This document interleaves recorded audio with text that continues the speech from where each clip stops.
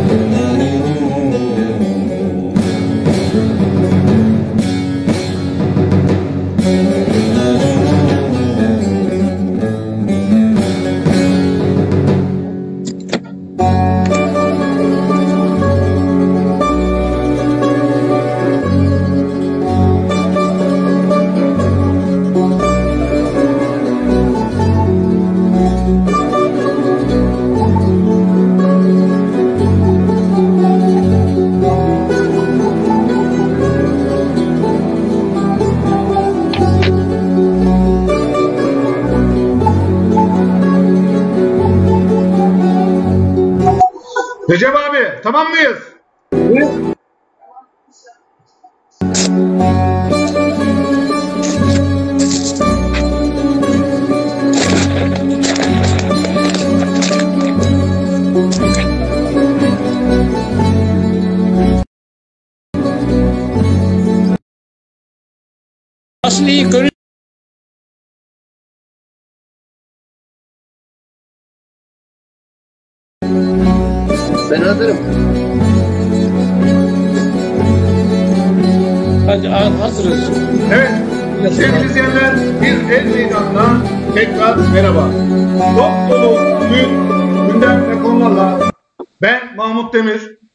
İstanbul'dan Mustafa Demir, Almanya'dan, Soğuk Almanya'dan Recep Çalışkan'la birlikte gündemi değerlendireceğiz.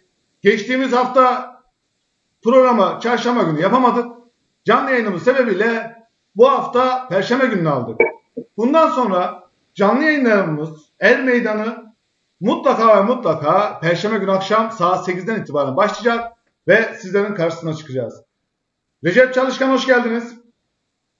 Teşekkür ederim. İyi akşamlar. İyi akşamlar. Almanya'dan selamlar.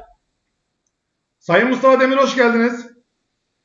Teşekkür ederim Mahmut Bey. İstanbul'dan Osmaniye'ye ve Almanya'ya selamlar, saygılar. Teşekkürler.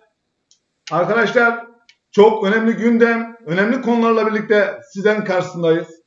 Şimdi son dakika gelişmelerden başlayarak gündemimize hızla girmek istiyoruz. Sağlık Bakanı açıkladı. Çin'den aşılar pazar günü akşam yola çıkacak. Hafta içi elimizde olması planlanıyor. Günde 2 milyon kişiye aşı vurulabileceği söylendi. Özel hastaneler, kamu kurumları ve ve aile kimliklerinde aşıların vurulacağı belirtiliyor. Yapılan istatistiklerde %92.25 başarılı olduğu aşıların söylendi. Umut verici. İnşallah tez zamanda şu illeti ülkemizden def ederiz. Sağlıklı, mutlu, eski huzur dolu günlerimize tekrar kavuşuruz dileğiyle ve temennisiyle. Dün vefat eden 259 vatandaşımıza Allah'tan rahmet, geride kalanlarına sabır diliyoruz. Allah da kimseye yaşatmasın diyoruz. Evet Sayın Çalışkan, aşılama faaliyeti başladı mı Almanya'da? Aşılama şu an henüz başlamış değil. Fakat her geçen gün e, gün yaklaştı, sayılı günler yaklaştı. E, aşıların son kontrolleri yapılıyor. Biliyorsunuz her şey kontrolü altında Avrupa'da genelde. E, fakat şu bir gerçek, biz Uğur Şahin'le ne kadar gururlansak azdır. Avrupa Birliği iki gün önce tekrar Uğur Şahin'in ve eşi Özlem e, Türeci'nin bulmuş olduğu aşının şu an dünyada en etkili aşı olduğunu tekrar ispatlamış oldular. Bu bizim için, Türk milleti için bir Türk olarak ayrıyeten bir gurur kaynağı. Bundan gurur duyuyoruz. Teşekkürler. Teşekkür ederiz. Sayın Mustafa Demir, İstanbul'da durumlar nasıl? Pandemi döneminde kısıtlama dönemi nasıl gidiyor? Oradan başlayalım. İstanbul'da e, durumlar e, vahim biraz. E, kısıtlamalardan dolayı gerçekten insanlar evet uymaya çalışıyor ama uyabildiği kadar e, esnaflar perişan, insanlar perişan. E, bir ümit bekliyorlar aşı. Yani panik içindeler. Aşı ne zaman geldi? Gelecek. Bunun tedirginliği içerisindeler. Aşı müjdeli haber geldi. Pazar günü inşallah yola çıkacağı söyleniyor. Tez zamanda vurulur. 2 milyon kişiye vurulacağı söylendi. Ümit verici, sağlıklı haberler, İnşallah. güzel haberler. Yani program bu tür sevindirici haberle açmak bize nasip oldu. Çok da mutlu olduk. Evet. Arkadaşlar bu arada yayınlarımızı paylaşınız. Yayına, yayınımız çok hızlı geçecek. Yayınımızı paylaşmanızı diliyoruz sizlerden. Evet. 2021 yılı bütçesi meclisten geçerek kabul edildi. 2021 yılı bütçesi meclisten geçerek kabul edildi. Şöyle bütçe açıklarını siz de ekranın takip edin. Sayın Çalışkan, Sayın Demir. Bütçe açıkları ve faiz ödemeleri. Öncelikle bir bilgi verelim. Daha sonra yavaş yavaş sindire sindire gitmeyi önemsiyorum. 2000, e, 2021 yılı bütçe öngörüsünde 245 milyar lira açık verileceği öngörülüyor. 2018'de 73 milyar açık verilerek merkezi yönetim bütçesine faiz ödemesi 74 milyar yük olmuş. 2019'da 125 milyar açık verilerek merkezi yönetim bütçesine 100 milyar lira yük olmuş. 2020 yılında 239 milyarla öngörülmüş, 137 milyar faiz ödenmiş. 2021 yılında ise 245 milyar Türk lirası açık verileceği öngörülüyor Sayın Çalışkan. Evet. Şimdi Şimdi şöyle bir şey söyleyeceğim. Bir, evet. buyurun. Şuradan 2020-21 yılı bütçe dağılımında şöyle ben size aktarayım. Öncelikle seyircilerimiz bunu bir görsün istiyorum. Aile Çalışma Bakanlığı'nın bütçesi en fazla Hazine ve Maliye Bakanlığı'na 468 milyar 271 milyonmuş. 2021 20 yılında 570 milyar 221 milyarla birinci sırada. Yani ikinci sırada Aile Çalışma ve Sosyal Hizmetler Bakanlığı'nın bütçesi 125 milyar 809 milyarla birinci sırada iken 2021 yılı bütçesi 155 milyar 11 lirayla ikinci sırada. Milli Eğitim Bakanlığı sıradan gidiyor. Sağlık Bakanlığı sıradan gidiyor. Milli Savunma Bakanlığı, Tarım Bakanlığı, Emniyet Genel Müdürlüğü, Jandarma Genel Komutanlığı, Adalet Bakanlığı bu şekilde sıradan gidiyor. Ben burada göstermek istediğim Cumhurbaşkanlığı bütçesi çok konuşulduğu için gündeme aldım. Hemen onu vereyim. Çok Cumhurbaşkanlığı bütçesi 2020 yılında 3 milyar 153 milyon iken 2021 yılında arkadaşlar 4 milyar 39 milyar bin liraya çıkmış. Bütçe artış oranı %28.1. Bakınız. Bütçe artış oranı 28.1. Devam ediyor. Şimdi buradan Çevre ve Şehircilik Bakanlığı'nın üstüne çıkmış. Enerji Tabi Kaynaklar Bakanlığı'nın üstüne çıkmış. Milli İstihbarat Teşkilat Başkanlığı'nın üstüne çıkmış. Devam ediyoruz. İletişim Dairesi'nin başkanlığının üstüne çıkmış. Türkiye Büyük Millet Meclisi Başkanlığı'nın üstüne çıkmış. Sahil Güvenlik Başkanlığı'nın üstüne çıkmış. Tabu Kadosta Genel Müdürlüğü'nün üstüne çıkmış. Avrupa Birliği Bakanlığı'nın üstünde Cumhurbaşkanlığı bütçesi şöyle göstereyim. Meteoroloji Genel Müdürlüğü'nün üstünde Türkiye İstatistik Kurumu ya Türkiye İstatistik Kurumu onlarla ilgili görüşeceğiz de onun bütçesi 427 milyar lirayken 501 milyara çıkmış. Hakimler, Savcılar, Anayasa Mahkemesi Başkanlığı, Milli Güvenlik Kurulu Genel Sekreterliği. Yani 2021 yılı bütçesi giderleri 1 trilyon 347 46 milyar lirayken 1 trilyon 101 milyar liraya vergi yükü dahil 245 milyar lirada açık olması öngörülüyor. 245 milyar lirada.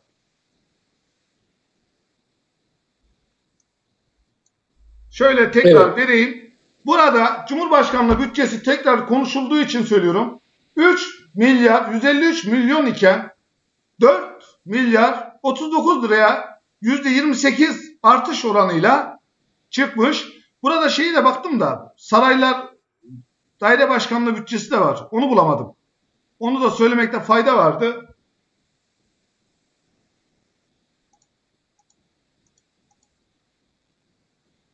Bir bakayım bulabileceğim mi? Evet. Bulamadım. Bütçe durumumuz bu şekilde. Bütçe kabul edildi. Çok 12 günlük bir maraton sonucunda tartışmalarla kabul edildi. Birçok bütçe görüşmeleri sırasında birçok izleyenlerimiz de takdir etmiştir. Milletvekillerinin şimdi gündem alacağız. Asker, 21 gün bedelli askerlik yaptığı sırada aynı zamanda milletvekili maaşı aldığı ortaya çıktı. Bu bütçelerle ilgili Sayın Çalışkan ne söylersiniz? Cumhurbaşkanlığı bütçesi uygun mu sizce? Bu kadar millet aç açıkta sefil iken bu kadar artış olmasının %28 oranda artış olması uygun mudur? Tasarruf tedbirlerine gidilmesi gerekirken önce oralardan başlanması gerekmiyor mu? Bunlarla ilgili düşünceleriniz nelerdir? Evet, teşekkür ediyorum Mahmut Bey. Önce şunu söylemek istiyorum, belirtmek istiyorum. Bir defa bütçe açık veriyor. Bu vatandaşımız için, devleti, devletimiz için çok büyük bir sinyaldir. Bütçe neden açık verir? Demek ki hesaplar doğru yapılmadığından dolayı ya da gereksiz yere harcamalar yapıldığından dolayı. Önce bunun bir e, gerçekten de araştırılması gerekiyor ve bunun üzerine çok yoğun şekilde yoğunlaşmak gerekiyor. Düşünün ki sizin bir iş yeriniz var. Her her akşam ya da her ay sonunda açık veriyorsunuz. Açık veriyorsunuz. Bu iş yeri ne kadar devam edebilir, ne kadar ayakta kalabilir bu bir. İkincisi e, gelelim gerçekten bütçenin ve e, bakanlıklara göre dağılımı. Ben en çok tabii ki şunu baştan belirteyim seyircilerimize, bizi izleyen değerli seyircilerimize. Mutlaka Aile ve Sosyal ve Çalışma e, Bakanlığı çok önemli bir bakan. Gerçekten de belki e, belki milli eğitim, savunma, milli savunma, milli eğitimden sonra en önemli bakanlıklardan bir tanesi. Fakat şu bir gerçek. Siz ne kadar para harca ayırırsanız ayırın, ne kadar bütçeden fon ayırırsanız ayırın, eğer siz bu parayı doğru dürüst gerçekten layık olduğu şekilde ödemeleri ve paylaşımı yapamazsanız bir kere ne kadar paranız olursa olsun önce bir beceri ve kabiliyet meselesi gerekiyor. Ben şunu demek istiyorum.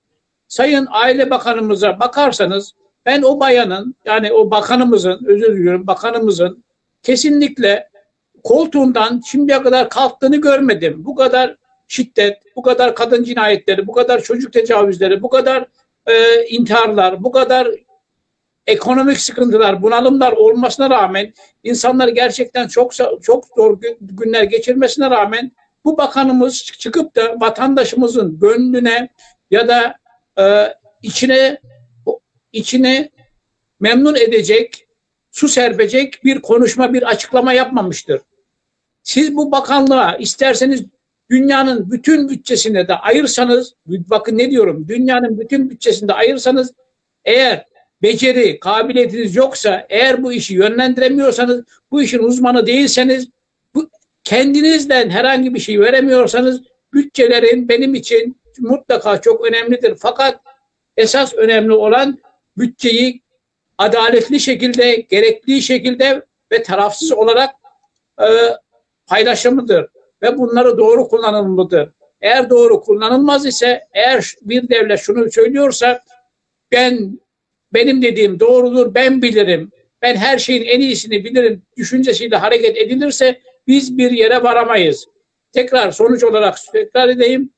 Sizin bir iş yeriniz var fakat bütçe e, iş yeriniz her ay sonu bir açık veriyor. Bu dükkan, bu iş yeri ne kadar ayakta kalabilir? Benim söylemek istediğim kısaca e, Milli Savunma Bakanı çok önemlidir. Mutlaka bazı bakanlıklar çok önemlidir. Fakat Diyanet İşleri Başkanlığı'na, Diyanet İşleri Başkanlığı'na bütçenin neredeyse en büyük paylarından bir tanesi de Diyanet İşleri Başkanlığı'na ayrılmıştır. Mutlaka Diyanet İşleri Başkanlığı'na bir sözüm yoktur. Değerli hocalarımızla bir sözüm yoktur. Fakat hani vatandaşa devamlı şunu telkin ediyorlar, ediyorlar ya şükretmeyi öğrenin, şükredin, sabredin. Biraz da lütfen hocalarımız, imamlarımız sabretsin de bir ay boyunca, iki ay boyunca maaş almadan e, insanlara namaz kıldırsa hiç olmazsa oradaki açık, bütçedeki açık bazı imamların ve bazı hocaların desteğiyle de kapanmış olsa. Benim söyleyeceğim bu kadar. Teşekkür ediyorum. Şimdi şöyle bir de durum var. Ee, burada onu da belirteyim. Cumhurbaşkanlığı 2021 yılı bütçesi %28 artış olmuş. Yani %28 artışla yani bu kadar paranın nereye gittiği, ne kadar tasarrufun tepeden yapılması gerekmiyor. Hep mi millet yapacak? Bunu da konuşmak lazım. Tasarruf %28 artışla 4 milyar 39 milyona çıkartılmış. 4 milyar 39 milyona Cumhurbaşkanlığı bütçesi. Cumhurbaşkanlığı bütçesi bu kadar incelendiğinde nereye gidiyor Sayın Çalışkan? Şimdi e, çok doğru bir e, soru. Fakat şunu bir gerçek ki, şu bir gerçek ki eğer her şey örtülü ödenek arkasında yapılır ise ve vatandaşımız da vatandaşımız ve bilhassa e, yargı, bağımsız yargı, Dayış, Sayıştay da bunun hesabını soramıyor ise ne kadar ayrılırsa ayrılsın e, bunu birileri mutlaka bir cevap verilmesi gerekiyor. Yani Cumhurbaşkanı devletin başıdır mutlaka fakat hükümetler yönetir, bakanlıklar yönetir. Başbakanımız da kalmadı ki artık başbakan yönetir desek. Ee, şunu demek istiyorum sonuç olarak. Eğer karanlık kapılar arkasında bilinmeyen işler yapıldığı takdirde hiçbir zaman nereye gittiğini öğrenemiyoruz. Nereye gittiğini bilemiyoruz. Kimse hesap sor soramıyor. Kimse sonucu öğrenemiyor. Böylelikle de bir sonuç alamıyoruz. Alamadığımız takdirde de işte bu bütçe açıkları e, her sene olduğu gibi her sene olduğu gibi son biraz önce çok güzel iki, iki sene iki seneyi üst üste gösterdiniz. iki üç seneyi. Her geçen sene bütçe açığımız gideri e, yükseliyor. Neden yükseliyor? Çünkü nereye harcandığını kimse kontrol edemiyor. Kontrol etse siz ne yapıyorsunuz? Sene sonunda bir mali müşavire veyahut da bir e, muhasebeciye hesapları kontrol ettiriyorsunuz. Benim gelirimle giderim doğru mu diye. Nereye gelirim nereye giderim var diye. Eğer bunu kontrol edilmiyor ise gelir ve gider belli olmaz ise bir iş yerinde olduğu gibi bir devlet de aynıdır. Mutlaka ya arkasında yanlışlar, yanlışlıklar vardır ya da bir hesapta yanlışlık vardır ya da hoş e, doğru olmayan e, işler işler sonuca çıkar. Ben daha açık Sayın Buyurun. Çalışkan aslında şunu söylemek istiyorum ben. Tamam ben bütçe Hazine Hazine Bakanlığı'nın, Milli Eğitim Bakanlığı'nın, Sağlık Bakanlığı'nın, Adalet Bakanlığı'nın bütçelerine hiç karşı gelmiyorum ben. Şu an pandemi dönemi var. Benim asıl bunu gündem almamın sebebi bütçe açığı 245 milyar veriyor, öngörülüyor. 245 milyar lira biz açık öngörüyoruz. Tasarruf tedbirleri. Vatandaş en altta kemer sıktı, sıktı, sıktı, sıktı, sıkmaktan bıktı. Ben şunu soruyorum. 2020 yılı bütçesi, Cumhurbaşkanlığının bütçesi 3 milyar iken 2021 yılında kabul edilen bütçeye göre 4 milyara %28 bir artış var. Ben diyorum ki asıl söylemem gereken şu. Tasarruf tedbirleri şu günlerde ilk önce baba kime yetirir evlatlarına yedirmez mi? Anne ilk önce evlatlarını düşünmez mi? Düşünür. İlk önce Cumhurbaşkanlığı bir tasarruf %28 tasarrufa gitseydi takdir edecektik. Neden %28 arttırma gereği duydular? Hangi ek giderleri oldu geçen seneden fazla ki ta 4 bin liraya kadar çıkarttılar? Yani Ee, evet, Orada ince Mah- bir nüans var Mahmut- bakın. Şu tasarruf tedbirlerinin olduğu bir gün olmasa, pandemi döneminin olduğu bir dönem olmasa ben başından sonuna kadar kabul edeceğim. Diyeceğim ki e, sazlı sözlü eğlenceler yapılıyor. E, itibardan tasarruf edilmiyor. İnsanlar geliyor. E, ağırlanıyorlar. Saray 3'lü 5'e çıkartıldı. Bunları hoşgörüyle karşılayacağım ama sen bizim babamızsın. Devletin babasısın. Türkiye Cumhuriyeti Devleti'ni temsil ediyorsun. Cumhurbaşkanı sıfatıyla bizi temsil ediyorsun. Ve örnek olması gereken bana tasarrufu öğretmen gereken kişilerin en başındasın. Ben tekrar soruyorum sorumu. 3 milyar iken 2020 bütçesi bakınız 3 milyar iken tekrar vereyim onu da seyircilerimize görürsün. 2021 yılında %28 artış ile hemen onu da veriyorum ekrana. Artış ile 4 milyar olmasını nasıl değerlendiriyorsunuz? Sorumu anlayabildiniz mi? Anladım. Ee, tabii ki insanın kafasına başka sorular da e, geliyor. Mesela ben şunu demek istiyorum. Acaba seçim yaklaşıyor da seçim yatırımı mı? Acaba belli müteahhitlere daha fazla e, daha fazla pay mı? Acaba acaba Evet, şu an ekranda var Sayın Çalışkan. Cumhurbaşkanlığı 2020 yılı bütçesi 3 milyar 153 milyon iken %28 artışla 4 milyar liraya çıkmış. %28 artışla. Ben de diyorum ki şu pandemi döneminde bu artış bana göre uygun olmamıştır, kabul edilmiştir, saygımız sonsuzdur. Ama bana tasarruf tedbirlerinin olduğu bir dönemde, tasarruf tedbirlerinin olduğu bir dönemde bence uygun olmamıştır diyorum. Bu arada son dakika bir bilgisi vereyim. Bugün vefat eden kişi sayısı 254. Bugün vefat eden kişi sayısı 254. Dün 256 idi. Bugünkü vefat eden kişi sayısı 254. Son dakika gelişmesi. Sayın Demir bu konuyla ilgili bir söyleyeceğiniz bir şey var mı? Tabii ki. Biraz da ben katkıda bulunayım bu konularla ilgili. Maalesef e, gösterişten e, tasarruf olmaz diye şey yapıyoruz. Ben bunu doğru bulmuyorum. Bütçe açığı açık açık üstüne çıkıyor. Bu da bizlerden çıkıyor. Bizim cebimizden çıkıyor. Ben bunu doğru bulmuyorum. Bu kadar insan aç, sefalet içerisinde dolanırken kendileri bu şekilde açık verip e, sevki sefa sürerek eğlence yapıyorlar. Giderler yapıyorlar. Masraflar haddine yükseldi. Burada doğal olarak şunu diyorum Mahmut Bey. Cumhurbaşkanlığının tasarrufa gitmesi lazım. Yüzde bir milyon tasarrufa gitmesi lazım. Ya tasarruf değil. Ben Cumhurbaşkanı bakın Mustafa Sayın Demir. Ben Cumhurbaşkanı bütçesine itirazım yok. Bakın orada söylüyorum. Neden söylüyorum? Yani şuna yazık. Saray sayısı arttı, oda sayısı arttı, bütün e, masraflar arttı. Sen bir evini geçindiremiyorsun kardeşim. Sen bir tane evini geçindiremiyorsun. Ya onu düşünmek lazım. Şimdi Iraklı bir bak, başbakanı köhne bir yerde karşılayabilir misin? Çadırın içinde karşılayabilir misin kardeşim?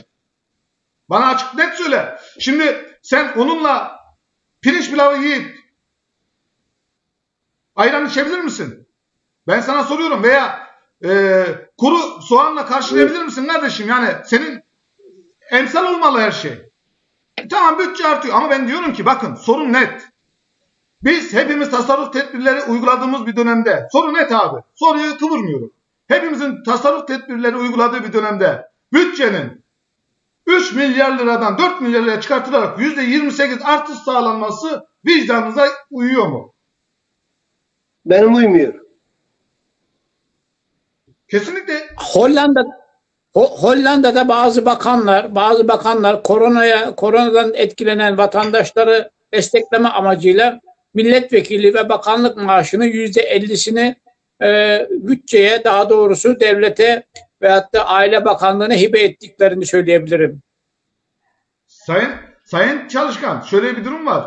Ya şimdi taraflı yayın yapıyorsun diyenler arkadaşlar oldu. Yorum yaptılar. Biz taraflı yapmıyoruz abi. Biz hakkın, haklının ve halkın yanında davranıyoruz. Bana şu öğretildi. Biz hep öyle gördük. İlk savaşa gittiğinde ilk komutan çıkar. Önden o yürür ki askerler arkasından gelir. Bir aile içerisinde Aynen. ilk baba acı bir şey varsa yer. Tatlı olup olmadığını oğluna tatlı der de ikram eder. Bir baba İlk önce o üşür sonra çocukları üşür üşümesi gerekiyorsa. Anne eteğinin altında çocuklarını saklar. Biz hep böyle gördük. Bu Anadolu'da da bu şekildedir. Hepimiz de bu şekilde büyüdük. Ben tekrar soruyorum. Pandemi döneminde şimdi açıkladı, biraz önce açıkladılar. Ocak ayında destekleme başvuruları alınıp inşallah tez zamanda mağdur olan esnaflarımıza verilecek. Ocak ayında yapılacağı bildirildi ancak esnaflar kan ağlarken vatandaş kemerini sıkmış evine ekmek götüremez duruma gelmişken %28'lik bir artış. Ya adalet olur, savunma sanayi olur, sağlık sektörü olur. Bunlar yapılmazsa yapılmazdır. Ben eğitim sektörü olur. Bunlara karşı değilim. En basiti Mahmut Bey, şöyle bir şey diyebilir miyim? Bugün e, Türkiye Cumhuriyeti Meclisi, Büyük Millet Millet Meclisi Başkanlığı'nın 54 tane e, özel baş danışmanı var. 54 tane. Yani sormak istedim Sayın Demir. Kıbrıs'a 7 uçakla değil de tek uçakla gidilemez mi abi ya? Ya benim gibi yaşayamaz mı ya? Ben de tasarruf, evet, tasarruf dediğimdeki konu bu. Onlar o arada bol kesilen harcarken bizim kemer sıkmamız bir şeyi değiştirmiyor. Yanlış yani.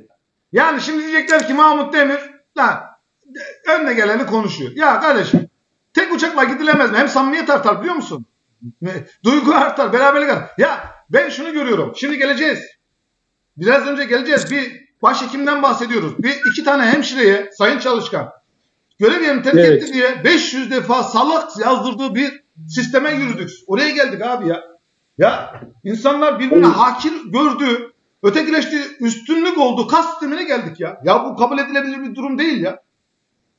Ya ben tekrar Eğer soruyorum. bir Senin 7 uçakla gittiğin, Kıbrıs'a gittiğin uçağının yakıtını hangi, nereden karşıladın? Cebinden karşıladıysan ben şu an günah işliyorum. Hakkını, haklarını helal etsinler. Ama milletin cebinden harcıyorsan ben rahmetli Erbakan'ın, rahmetli Erbakan Çalışkan bunu da söyleyeyim size sözü bırakacağım.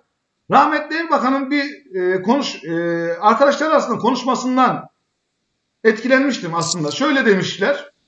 Ya biz ülke dışı gezilere gidiyoruz ama yanımızdaki götürdüğümüz çocuklarımız, eşlerimiz helal oluyor mu, haram mı oluyor diye bir düşünce varmış o dönemde. Öyle bir e, felsefe var. Söylentisi var, söylemesi var, sorgulaması var. O zaman dedim ki ya bu kadar ince düşünen bir insan ne mutlu ki bizim ülkemizde de etkin bir insan. O dönemde de etkin bir insandı. Ya bunu inceleyip 40 düşünmek lazım. 40 kere düşünmek lazım. Yoksa 7 uçakla Kıbrıs'a gitsen ne olur, gitmesen ne olur? Millet burada aç perişan iken. Evet Çalışkan. Evet. Şunu demek istiyorum. Hazreti Ömer'in adaletiyle adaletini diye diye gelenler zannedersem yakında öyle o, o istikamete doğru gidiyorlar. Firavunlara, firavunlarla neredeyse denk bir yaşantı ve e, şamata içindeler. Maalesef ülkemizde adaletin, sorgunun ve sorumluluğun olmadığı bir e, düzen düzenle gittiğimiz takdirde ve kimse bundan da hesap sormaz sormaz ise soramaz ise biz daha bizi daha gerçekten de bilhassa da bu pandemi Covid-19 dolayısıyla ekonomik krizler bize zincirleme şekilde aynı kar topu gibi her dönüşte iki misli, üç misli büyüyerek üzerimize doğru geliyor. İyi Çok Parti güzel dediniz. Çok güzel dediniz. Kıbrıs'a Kıbrıs'a bir değil, beş değil, altı yedi tane uçakla mı gidilir? Yani insanlar insanlarla dalga geçmek değil midir? E, İki üç gün önce, üç dört gün önce e, Iraklı Başbakanı, Iraklı Başbakanı, Arap onu göstereceğim Başbakanı Çalışkan. sarayda- Çalışkan. Sayın Çalışkan onu göstereceğim. Yorumunuzu iste- isteyeceğim. Evet. Sayın Çalışkan. Evet. İyi Parti İl Başkanı Sayın Serhat Kılıç iyi akşamlar, hayırlı yayınlar diliyorum demiş. Selamlarımızı iletiyoruz. Teşekkür ediyoruz başkanımıza. Saygılar, sevgiler Almanya'dan olsun. Mustafa Bey size de selamları var. Aleyküm selam. Bizden kendisi değerli başkanıma Gülistan adama selamlar olsun. Evet. Şimdi siz konuyu açtınız. Ben o video görüntüsünü vereyim. Onun üzerine yorumumuzu yapalım. Olur mu Sayın Çalışkan? Mahmut Bey, e, Mahmut Bey Evet. videoyu videoyu açmadan önce Ömer Ayyam'ın güzel bir e, sözü var. İsterseniz onu söyleyelim bu bütçe meselesini böylelikle daha iyi anlaşılmış olur. Evet. celladına aşık olmuşsa bir bir millet ister ezan ister çan dinlet itiraz etmiyorsa sürü gibi illet müstehaktır ona her türlü zillet diyor. Yani her şeyle beraber dört dörtlük anlatılmış bir olay. Ya üstadım ben şuna karşıyım. Ya kardeşim tasarruf edecek itibardan tasarruf edilecek. Ve vatandaş aç, açıkta, soğukta istikken bu arada 91 şehidimiz olan onu da unuttuk. Heyecanla seyircilerimizi affetsin. Sarı kalmış şehitlerimize Allah'tan rahmet diliyoruz. Yattıkları Allah yerde rahmet işte eylesin. Ee, geçtiğimiz günde e, şey yaptık. Kusura bakmayın göz ardı ettik ama bunu da böylelikle belirtelim. Üstadım şu Sayın Başkanım şu şeyi bir göstereyim. Videoyu o sazlı sözlü şey var ya seyircilerimiz bir izlesin. Onun üzerine bir yorum yapalım. Teşekkürler. Sarayda dip dibe yemek serbest, esnafa vatandaşa yasak. Saray et yesin, vatandaş taş yesin anlayışı. AKP koronavirüsten daha tehlikelidir. Bu diplomatik kural dünyanın hiçbir yerinde şu anda böyle büyük şatafatlı sofralar kurulmuyor. Millete kuru ekmek yeter derken şatafatlı sofralarda yedikleri önlerinde yemediklerini döken ve bir de bunun görüntülerini yayınlayanlara yuh olsun. Biri yer biri bakar. Kıyamet ondan kopar. Cumhurbaşkanı Erdoğan'ın Irak Başbakanı için Beştepe'de canlı müzik eşliğinde verdiği akşam yemeği. Muhalefetin millet aç, sarayda şatafat tepkisi. Geçtiğimiz hafta Hidayet. mecliste başladı saray mutfağı tartışması. Orman meyveli spesiyal, bahçe naneli limonata içermiş, tartalet içerisinde humus. Afiyet olsun. Ye babam ye. Millet aç, sarayda bunları yiyor. Emin olun burada saydığınız yiyeceklerin bir kısmının ismini bile Sayın Cumhurbaşkanımız bilmez. Cumhuriyet resepsiyonları olur, yabancı misafirler ağırlarsınız. Burada insanlara bir takım ikramlar yaparsınız. Mecliste CHP ile AK Parti arasında yaşanan tartışmadan birkaç gün sonra Cumhurbaşkanı Erdoğan'ın Irak Başbakanı onuruna verdiği yemeğin görüntüleri sosyal medyaya düştü. O davette yer alan bir kişinin cep telefonuyla kaydettiği görüntüler. Türkiye Büyük Millet Meclisi'nde saray sofrası ve şatafatını anlattığım günün akşamında saraydaki eğlence ve şatafat. Ama sanatçı bölümünü eksik söylemişim. Millet kuru ekmeğe muhtaç, saraydaysa zevki sefa. Yiyin efendiler, yiyin.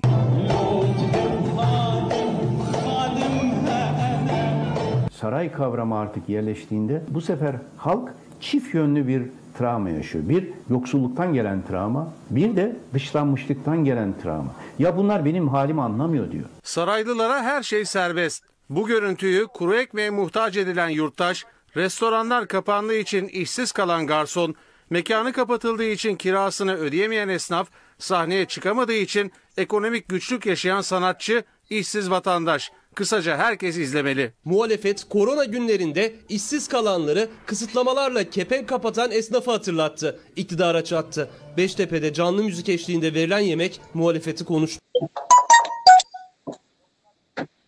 Evet. Sayın Demir, Mustafa Demir. Millet açken sarayda zevk sefa diyor muhalefet. Siz ne diyorsunuz?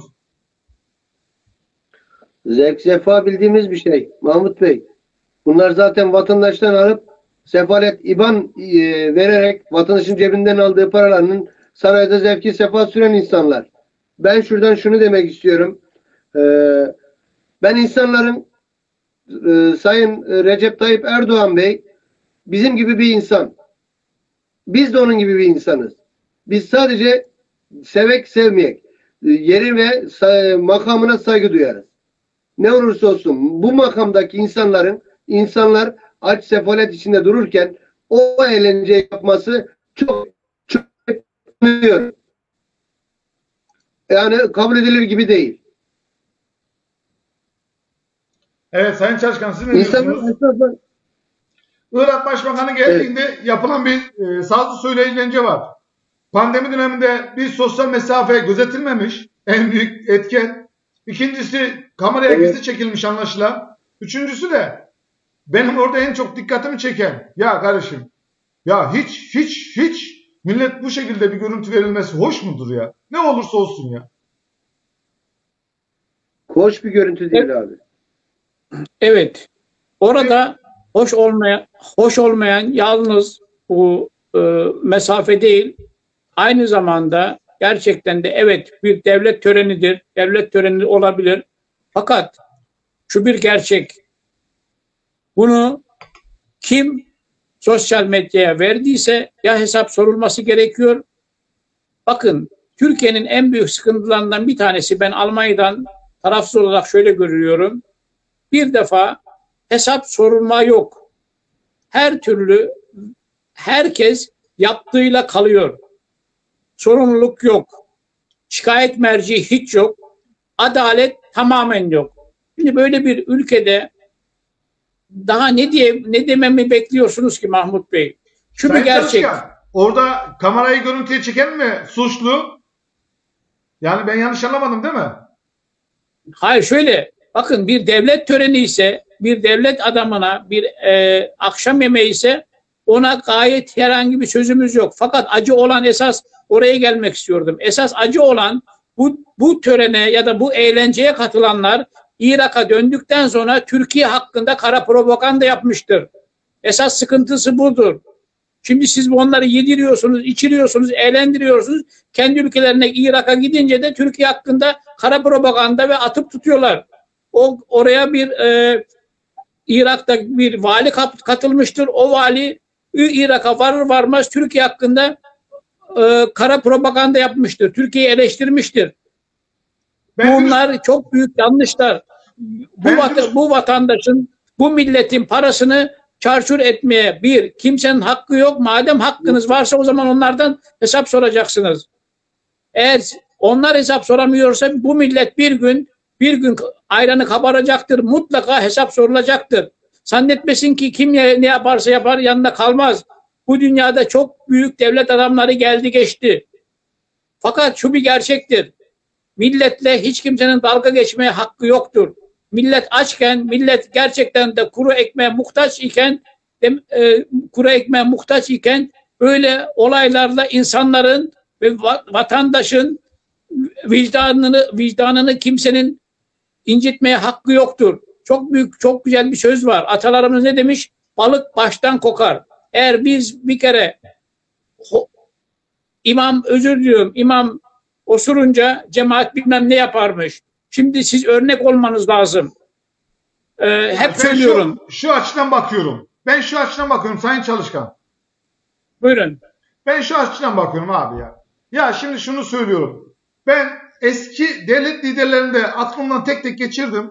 Tek tek geçiriyorum, süzmeye çalışıyorum. Ben böyle bir şey görmedim abi ya. Yani Sayın Cumhurbaşkanı, Sayın Cumhurbaşkanı fakir edebiyatı yapıp, yoksulluktan fakir babalığı yapıp bu şekilde gelip bundan sonra da böyle sazlı sözlü bir ortamda böyle bir yemek yenilmesi beni en derin şekilde yaralamıştır. Kafamı kellemden Tabii kopartacaklarını bilsem bunu da söyleyeceğim abi ya. Ya mütevazı ki, bir tabii ya oradaki görüntü beni çok şey yaptı, üzdü abi ya. Söyleyemiyoruz da yüreğimizdeki hissettiğimizi söylüyorum. Ya nasıl bir görüntü o ya? Millet pandemi döneminde herkesi sokağa çıkma yasağı var. Evine tıkmışsın. Millet e, fakir edebiyatı yapmıyoruz biz. Ekmeği aç kardeşim. Bana gelmiş adam dün itibariyle diyor. Yanlı konuşuyorsun. Ben yanlı konuşmuyorum. Ben halkın tarafında konuşuyorum. Her aslanın, her insanın olduğu gibi ben de aslan yatıyor kalbimde. Sana hesap verecek değilim. Ancak herkes eşittir eşit. Adalet var bu ülkede. Yüce Allah'ın bir takdir ilahisi var. Yolsuzlukla mücadele, yoklukla müca- mücadele, yasaklarla mücadele diye gelip daha sonra da bir tarafı çok zengin edip uçurup bir kısımda açlıktan yüz, ya, debeleniyorsa öyle bir devlet başkanı olabilir mi ben size soruyorum. Fa- fa- milletinin ya konuşamıyorum ya. Ya böyle bir şey kabul ediyor musunuz ya? Ne yapacaklar? Asacaklarsa gelin asın kardeşim bize. Alın yok edin. Yiğit olan gelir asar. Ya yok abi sen şatavat içinde elin bir elin yağda bir elin balda ya can alıp can vereceksin sonra çıkacaksın. Millet acız dediğinde tek vatan. Yokluk dediğinde tek millet.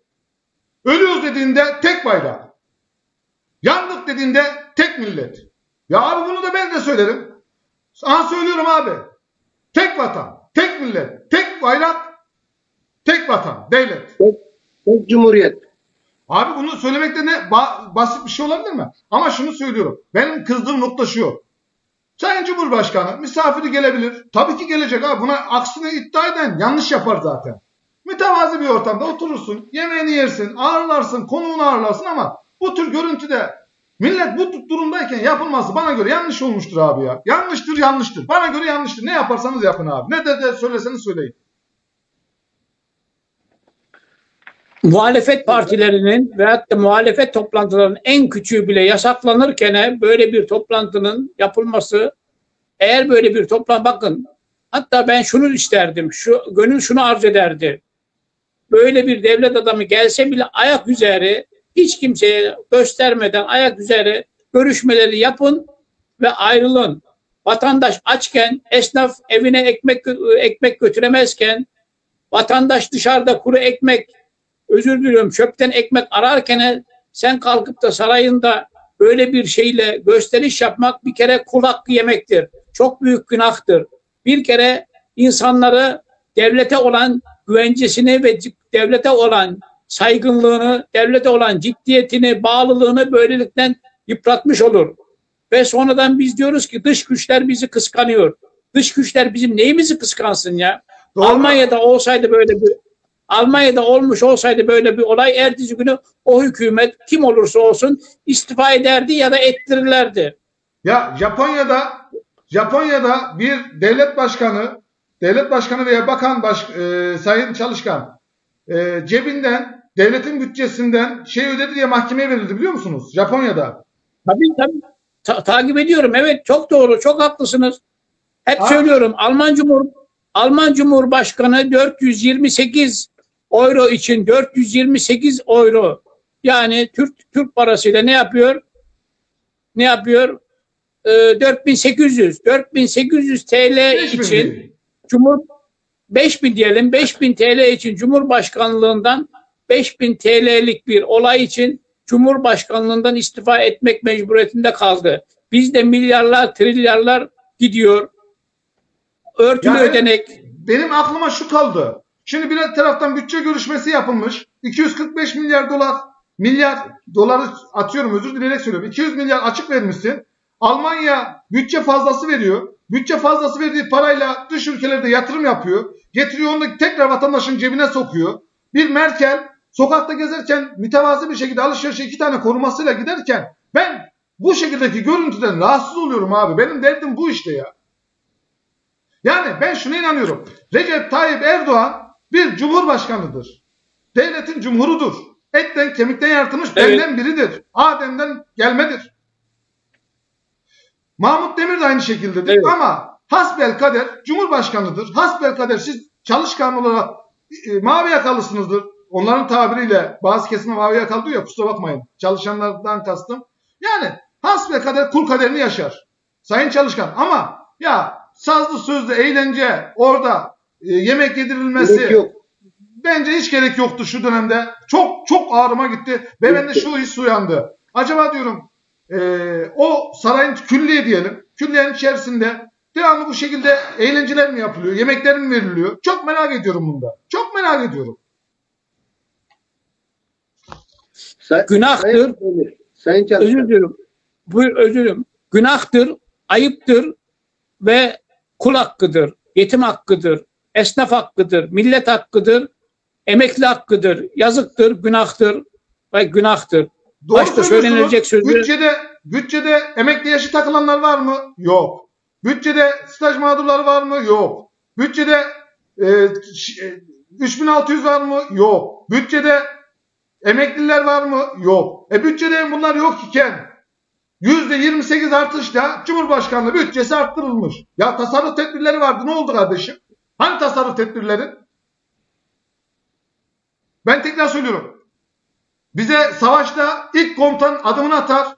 Öyle eğitim aldım ben. İlk komutan adımını atar. Neferler arkasından gelir. Ki onları korusun kollasın. Annem sağ olsun ilk kendi çıkardı. Soğukta kontrol ederdi. Hatta soğuk kış gecelerinde odunu kendi alırdı. Sobayı yakardı. Bize kıyamazdı.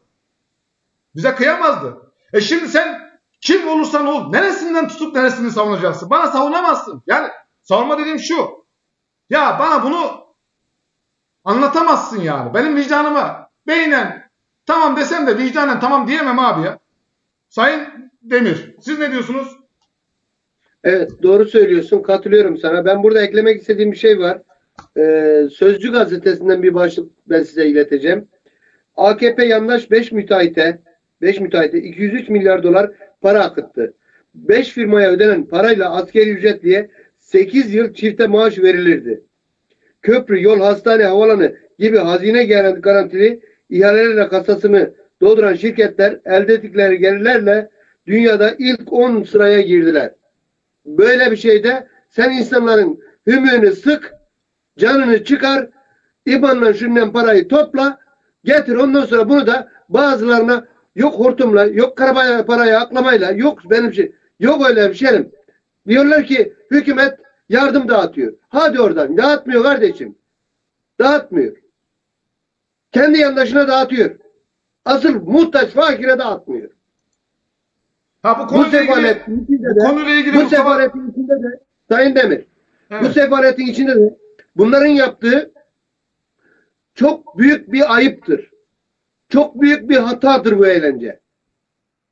Ben bunu şiddetle kınıyorum. Ya ben bunu şöyle tabir ediyorum. Kaşıkla kaşıkla verip kepçeyle yemeye tabir ediyorum. Ben diyorum ki el insaf diyorum. Vicdanlar kanıyor. insanlar üzülüyor. Ya inanın dilenci sayısı arttı. Araştırın ya şu ışıkları bölgesine gidin. Dilenci sayısı arttı ya. İnsanlar iş yerlerini kapatıyor abi. Kapatıyor. Zor durumda. Zor durumda. İnin görün vatandaşın içine inin görün kardeşim. Osmaniye'ye gel. Üç tane vekili var. Gelin görün. Sıfıra sıfır elde var sıfır. Bu vatandaşı vata açından ölürken evine ekmek götüremez, ekmeğini şey yapamazken gelin girin içine görün kardeşim ya. Duygu sömürüsü yapmıyorum ben burada. Gelin bakın. Sayın Ünlü, Sayın Durmuşoğlu, Sayın Kaya neredesiniz? Gelin görün. Kesinlikle diyorum.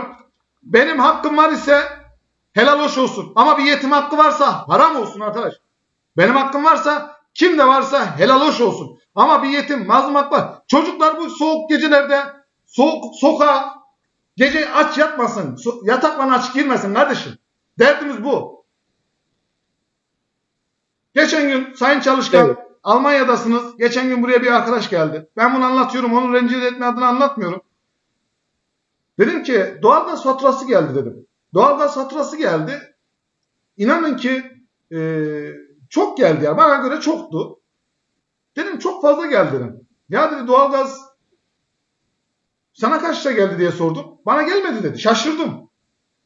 Niye gelmedi dedim. Sayın Çalışkan ne dedi biliyor musunuz? Evet. Havalar soğuk gitmiyor dedi ya. Ya Nasıl? Havalar soğuk gitmiyormuş. Havalar soğuk. Ben Evet. rencide etmemek adına, rencide etmemek adına hani parası yok belli. Adına seslenemedim ya. Bir şey söyleyemedim. Vallahi söyleyemedim. Yaşanan da bu. Billahi de bu. Tillahi de bu. Ya günahtır abi ya. Günahtır. Günahtır. Bunu anlatır, anlatırken insan duygulanıyor. Ha ben şunu da çok merak ediyorum. Sayın yetkililer, ilgililer, ne olursa olsun siz bu halkın içinden çıkıp gittiniz. Bir tarafınızda birden çok paranız olabilir. Sıcacık ortamlarda müthiş derecede keyifli olabilirsiniz. İnanın ki bir yerlerde çocuklar yatağa, soğukta, yorgan altında tir tir titreyerek yatıyor. Evet. Derim çok da bu konuda ne diyeceğimi de şaşırdım. Ben şunu diyorum. Sayın Cumhurbaşkanım, Sayın Vekilim, Sayın Bakanım, kimsen sizi biz seçtik. Biz milletiz. Bakınız İstanbul'daki vatandaş oy attı. Ankara'daki vatandaş oy attı. Osmanlı'daki vatandaş oy attı. Ben oy attım. Biz seçtik. Biz seçtiğimiz için de gönül rahatlıkla size bunları sorguluyoruz. Sorgulamaya da devam edeceğiz. Gücümüzün yettiği, dilimizin döndüğü yere kadar sorgulamaya da devam edeceğiz. Buradan da insanlara sesleniyorum. Kıymetli arkadaşlar, ne olursunuz verilenle yetinmeyin. verilenle yetindiğinizi zannetmeyin. Çocuklarımızın geleceği için, çocuklarımızın geleceği için şunu bilin istiyorum. Mahmut Demir'in oğlu ile Recep Tayyip Erdoğan'ın oğlu arasında hiçbir fark yok. Recep Tayyip Erdoğan'ın oğlu ile Ahmet Demir'in oğlu arasında hiçbir fark yok. Çünkü hepsini Allah yarattı. Hepsini Allah yarattı. Hepimiz faniyiz. Bu dünyada yaşadık, yaşıyoruz ve gideceğiz. Hepimizin takısı farklıdır. Birimiz bir şekilde bir görev üstlenmişken diğerimiz başka bir görev üstlenmişiz. Yoksa hepimiz etten kemikten yaratıldık. Kimseyi ilahlaştırmayın. Bu sadece Recep Tayyip Erdoğan üzerine değil. Devlet Bahçeli üzerine, Kemal Kılıçdaroğlu üzerine, Meral Akşener üzerine, Ak, Sela, e, Saadet Partisi Başkanı Temel Karamollaoğlu üzerine, Ahmet Davutoğlu üzerine. Etten kemikten yaratıldı herkes. Bu kadar basit olaya bu kadar basit. Senin nefsinden üstüne kimse yok. Bakın. Üstünlük takvadadır. Bu kadar basit. Buyur Çalışkan. Tabii ki ya. Evet, e, maalesef evet. Maalesef bu konunun ne kadar maalesef bu konunun ne kadar ac- acı, ne kadar vatandaştan kopuk, ne kadar vatandaştan uzak, ne kadar fakir fukara ve evine ekmek götüremeyecek, evini ısıtamayacak, hatta çocuğuna söyleme bez bulamayacak aileler var, ilaç bulamayacak aileler var. Böyle bir durumda Süleyman Demirel'in çok bir güzel sözü vardır. Fırat kenarında bir tane koyun kaybolsa onun sorumluluğu devlet başkanı olarak ben onun sorumluluğunu omuzlarımda taşıyorum diye. Bize biz maalesef her yönüyle gerekse değerlerimizden, gerekse kültürümüzden, gerekse ananevi ve e, devlet ciddiyetimizden her geçen gün, her geçen gün uzaklaşıyoruz. Güzel sloganlarla, biraz önce siz dediğiniz gibi tek vatan, tek millet, tek bayrak gibi böyle kutsal e, sözlerin arkasına gizlenerek vatandaşlarımızı oyalamak ne kadar ne kadar yanlış ise o kadar da gelecek için karanlıktır. Bu devletimiz ka- kaybediyor. Burada devlet kaybediyor. Hep söylüyorum. İnsanlar, hükümetler, siyasiler, devlet adamları bugün vardır, yarın yoktur. Onlar gelip geçicidir. Ama vatan esas kalıcı olan vatandır. Esas kalıcı elbet müddet devlettir. Devletimize Allah korusun bir şey olmasın. Askerimize, polisimize bir şey olmasın. Fakat böyle de, böyle de ciddiyetsizlikler olduğu takdirde Osmanlı'nın esasında eğer e, araştıracak olursak Osmanlı'nın yıkılışının en büyük sebeplerden bir tanesi Vahdettin, e, özür dilerim, e, Abdülhamid'in bin- 1800 1896'da duyunu umumiyeyi yani Osmanlı hazinesi iflas et- etmiştir açıklamasından sonra İngilizler, Fransızlar ve Ruslar Osmanlı artık iflas etmiştir. Bundan daha iyi fırsat, bundan daha iyi saldırma sebebi bulama, e, e, bundan daha iyi bir fırsat bulamayız diyerek üzerimize saldırmıştır. Saldırmışlardır ki sonuçta da 1922'de de Osmanlı maalesef yok, ol, yok olma mecburiyetinde kalmıştır. Ha, Osmanlı da biziz, Cumhuriyet de biziz, Selçuklu da biziz. Ben burada bunları söylerken birini alta birini üste çıkarmak istemiyorum. Fakat şu, şu bir devlet yönetiminde çok önemlidir. Önce siz bir örnek olacaksınız. Önce sizin bakanlarınız, sizin milletvekilleriniz, sizin valileriniz örnek olacak.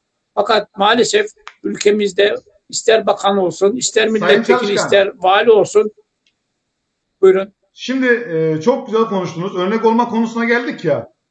Şimdi günlerdir kamuoyuna geliyor.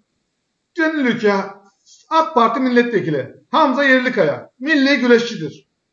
Hiçbir itirazımız yok. Yani Allah selamet versin. Bu ülkenin bayrağını göklere göndermiştir.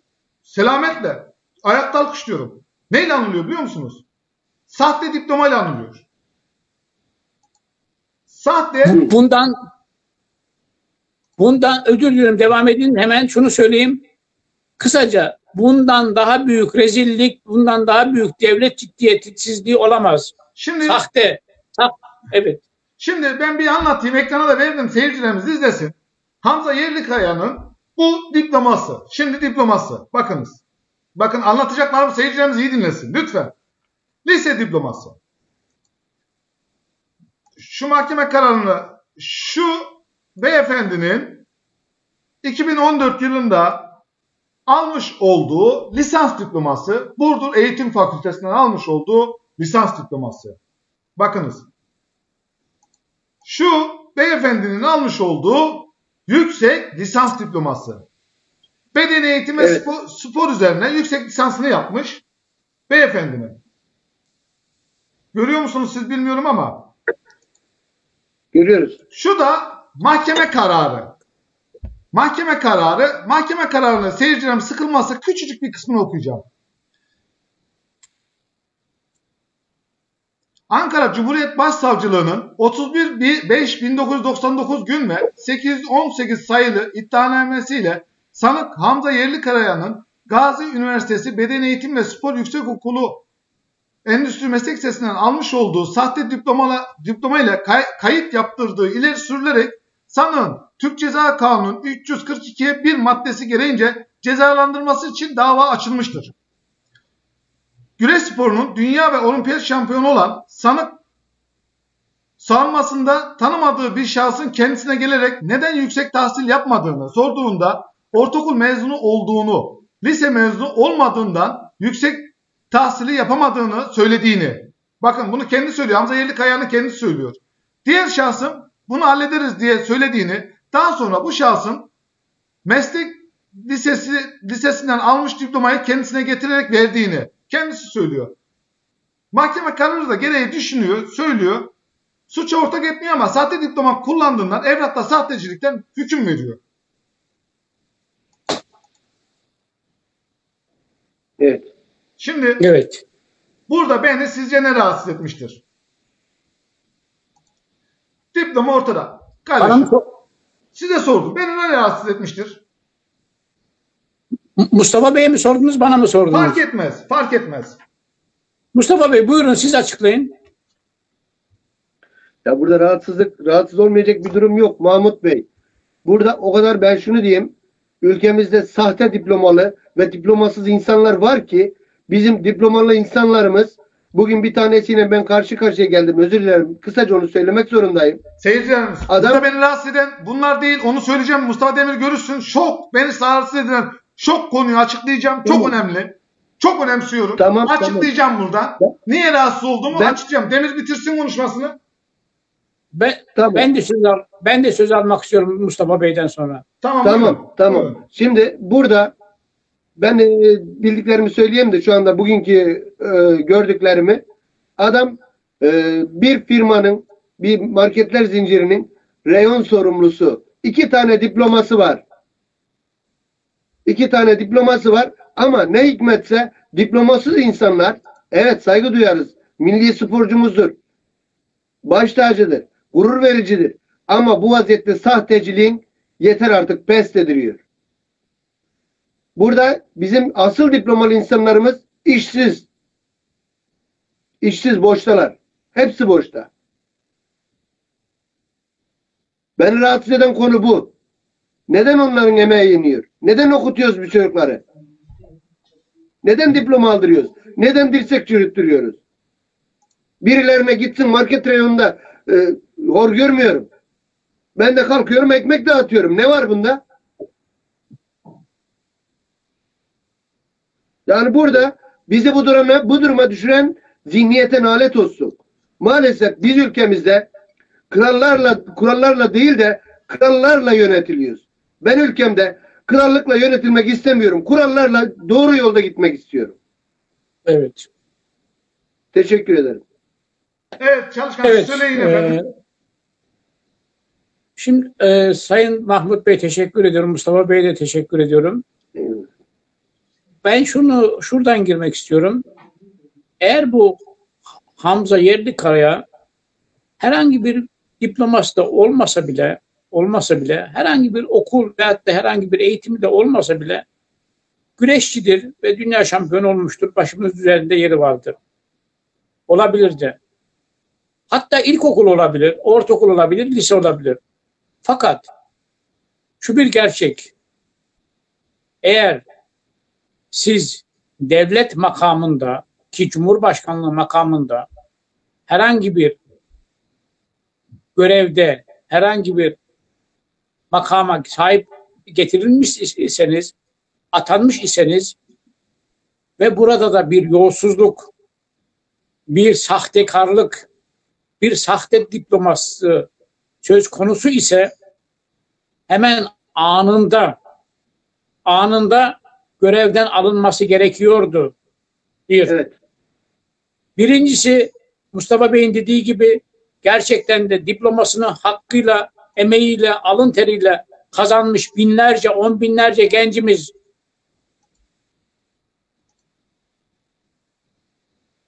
Şimdi hattan düştü Sayın Pardon. Çelik. Evet Çelikan. Evet devam edin. bir saniye Şimdi şöyle devam edeyim ben. sıkıntı. Evet, Evet, buyurun evet, devam edin. evet. Devam edin buyurun. On binlerce gencimize eğitimini alnının teriyle almış diplomasını kazanıp da iş arayanlara, iş bekleyenlere, atama bekleyenlere karşı bir kere saygısızlıktır bu bir. İkincisi devlet ciddiyetini tamamen tamamen zedelemiştir. Üçüncüsü ise esas mesele ise dışarıya karşı hani hep diyorlar ya dış güçler dış güçler dış güçlere çok büyük bir fırsat verilmiştir. Son bir örnek kısaca değerli vatandaşlar, değerli izleyicilerimiz, Türkiye'deki vatandaşlarımıza da tekrar Almanya'dan selamlar olsun. 1971'de Willy Brandt yani Almanya Başbakanı 1971'de seçilmiştir ve 74'te tekrar seçildiğinde, ikinci defa seçildiğinde atam kendi sekreterinin Doğu Alman ajan olduğu ortaya çıkıyor, çıkar. Sekreteridir, bilemez. Ki sekreteri, sekreteri de biliyorsunuz atanır. Buna rağmen Almanya Başbakanı 1974'te Willy Brandt hemen anında başbakan ve hükümetten istifa eder. Ben der nasıl olur da bir başbakan olarak Almanya Almanya'yı yöneten bir başbakan olarak benim sekreterimin benim sekreterimin bir Doğu Alman ajanı olduğunu ben bilemem diyerek veyahut da gözümden kaçmış olarak anında istifa eder ve tekrar seçime giderdi gidilir. Ama bu defa gerçekten de Willy Brandt tekrar seçilir. Şimdi devlet ciddiyeti budur. Devletteki sorumluluk budur. Devletteki görev almak budur. Devletteki leke, devlete leke getirilmemesi gerekiyor. Devletin ciddiyetini korunması gerekiyor. Hamza Yerli Karaya'nın diploması olup olmaması hiç önemli değil. İsterse hiç olmasın. Fakat olup da sahtekar, sahte bir diploma ise ve devlet makamında, Cumhurbaşkanlığında da bir görevi var ise bundan daha büyük yüz kızartıcı e, bir olay olamaz. Ben yarın buradaki bana soranlara sizin devletinizdeki bir tane yetkilinin diploması sahteymiş diye, sorsalar ben onlara ne diyeceğim? Nasıl bir cevap verebilirim? Nasıl savunabilirim? Şimdi hala bu adam evet hala bu adam görevde mi dediklerinde ben ne diyebilirim? Teşekkür ederim. Saygılar. Şimdi şunu ben söyleyeyim. Sayın Demir bana da müsaade eder misin? Şimdi Sayın Yerlikaya'nın diploması benim anladığım kadarıyla bir sahte diploma alma işi, girişimi olmuş. Daha sonra bu kim şikayet ettiyse savcılığa intikal ettirilmiş. Sonradan bu benim anladığım kadarıyla lise diploması bu aldığı bir önce gösterdiğim lise diploması farklı o olayı sonrası alınmış. 2004 mezunu çünkü. Daha sonra da daha sonra da lisans diplomasını almış. Yüksek lisansını yapmış. Bunlarda hiçbir sıkıntı yok. Birincisi bir önce dedik ya sahte diplomayla ilerlemiş. Sahte diplo- diplomayla ilerleme yok aslında. Ama sahte diploma alma girişimi var. İptal edilmiş o. Mahkeme tarafından iptal edilmiş. Bu olayın aslı bu. Şimdi gelelim öbür tarafa, öbür boyuta. Beni rahatsız eden bu konu değil arkadaş. Beni rahatsız eden şimdi size okuyorum. Bu şahıs Türkiye Cumhuriyeti Devleti'nin bayrağını göndere çekmiş. Ayakta saygıyla önünde eğiliyorum, alkışlıyorum da. Bakınız, alkışlıyorum da. Bu şahsın kariyerini okuyorum size. 2007'de Ada Adalet ve Kalkınma Partisi'den Sivas'tan milletvekili olmuş. Bunda da sıkıntı yok. Çünkü milletvekili olma onunla yaşamış, olmuş da onda da sıkıntı yok. Ama şurada sıkıntı var. Ben sıkıntı yaşadığım nokta şu. spor bakan yardımcılığı, yardımcılığı yapmış. Burada sıkıntı var mı? Yok. Ama şurada sıkıntı var Sayın Çalışkan, Sayın Demir. Vakıfbank Yönetim Kurulu başkan yardımcılığı yapmış. Ya, anladınız mı olayı? Vakıfbank Yönetim Kurulu başkan yardımcılığı. Türkiye'nin kamu kurum bankasının dört taneden biri olan en iyi bankaları Vakıfbank'a başkan yardımcısı olarak atanmış. Liyakat yok, ehliyet yok, bilgi yok, birikim yok. Birisi istemiş, birisi atanmış. Ve dört ayrı yerden bu şahıs maaş almış. Beni rahatsız dört ayrı yerden maaş alması, iki Vakıfbank Yönetim Kurulu başkan olması. Spor Bakan Yardımcılığına dilim yok. Atandığın, göndere çıkarttığın bayrağı zaten sözümüz olamaz. Ya kardeşim akıl var mantık var. Senin hangi lise diploması olmayan açık öğretim lisesinden arkadaşlarım yanlış anlamasınlar. Kesinlikle eleştirmiyorum. Okumanın açığı kapalısı yüz yüzesi olmaz ama ardı ardına aldığım bir spor meslek okulundan almış olduğu yüksek lisansla 5 dakikada nasıl bir Vakıfbank Yönetim Kurulu Başkanlığı'na atandın ve orada maaş alıyorsun ya. Dört yerden maaş alıyorsun. Günah değil mi kardeşim ya? Ya çıktığınız zaman sizden başka bu vatanı seven yok. Sizden başka bu vatan için çalışan yok. Sizden başka fakiri koruyan yok. Sizden başka fukaranın peşine koşan yok. Çıktığınız zaman en cafcaflı, en şatavatlı, en güzel kelimeleri kullanıyorsunuz. Ha çıkacaksınız kardeşim senin ne bu vatana fayda? Ya kardeşim ben 9 il gezdim. 3 defa doğuda çarpıştım ben ya.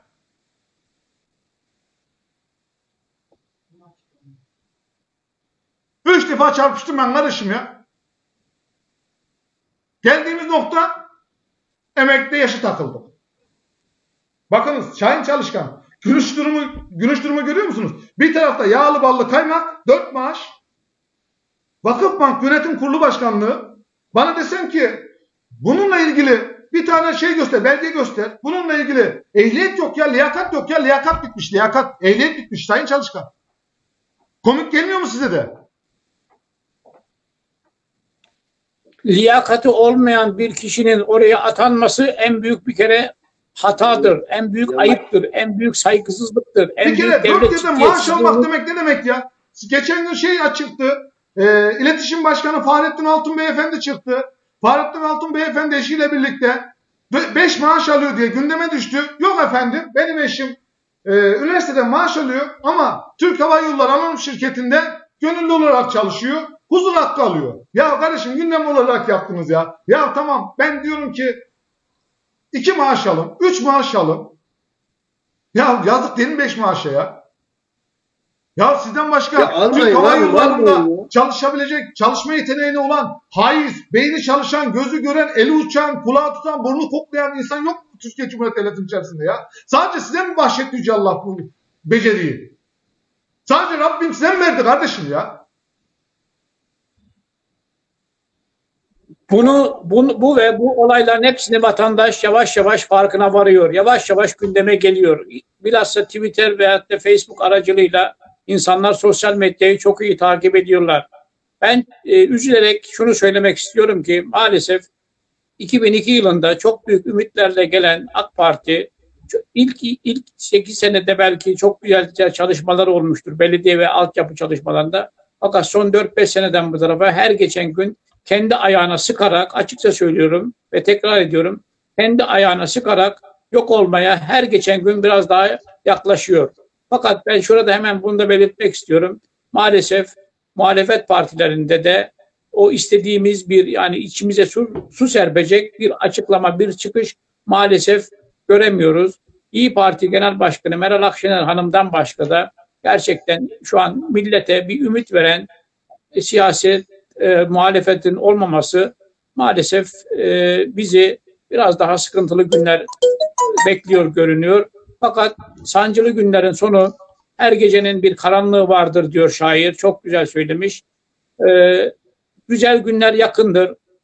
E, mutlaka yeni bir mavi gözlü lider çıkacaktır ya da bir bayan çıkacaktır inşallah. Kim ol kim çıkarsa çıksın artık bu millet bunları e, yavaş yavaş kaldıramaz oldu. Bu milletin bir değeri vardır, bir geçmişi vardır, bir, bir kültürü vardır. Dünyada en eski milletlerden şu an dünyada iki tane millet vardır. Bir tanesi Çin, Çinlilerdir, Çin'dir. Yani son 5000 yıldan bu tarafa hala ayaktadır. İkincisi de gururla mensubu olduğumuz Türk milletidir. Türk milleti 5000 yıla kadar geriye gider. Fakat şunu da söyleyeyim ki e, özür diliyorum şunu söylemek istemiştim. Bu 5000 yıllık iki tane millet vardır bu dünyada. Türk milletine yakışmıyor. Bizim atalarımız, bizim liderlerimiz, bizim başbuğlarımızı, başbuğlarımız, bizim hanlarımız, bizim kağanlarımız böyle değildi. Önce sorumluluğu, önce iğneyi kendilerine batırırdı. Sonra çuvaldızı başkasına. Bir an önce Türkiye'deki milletvekilleri, bakanlar, maalesef milletvekillerimizde tek bir görevi var. El kaldırıp el indirmek. Ülke böyle yönetilmez.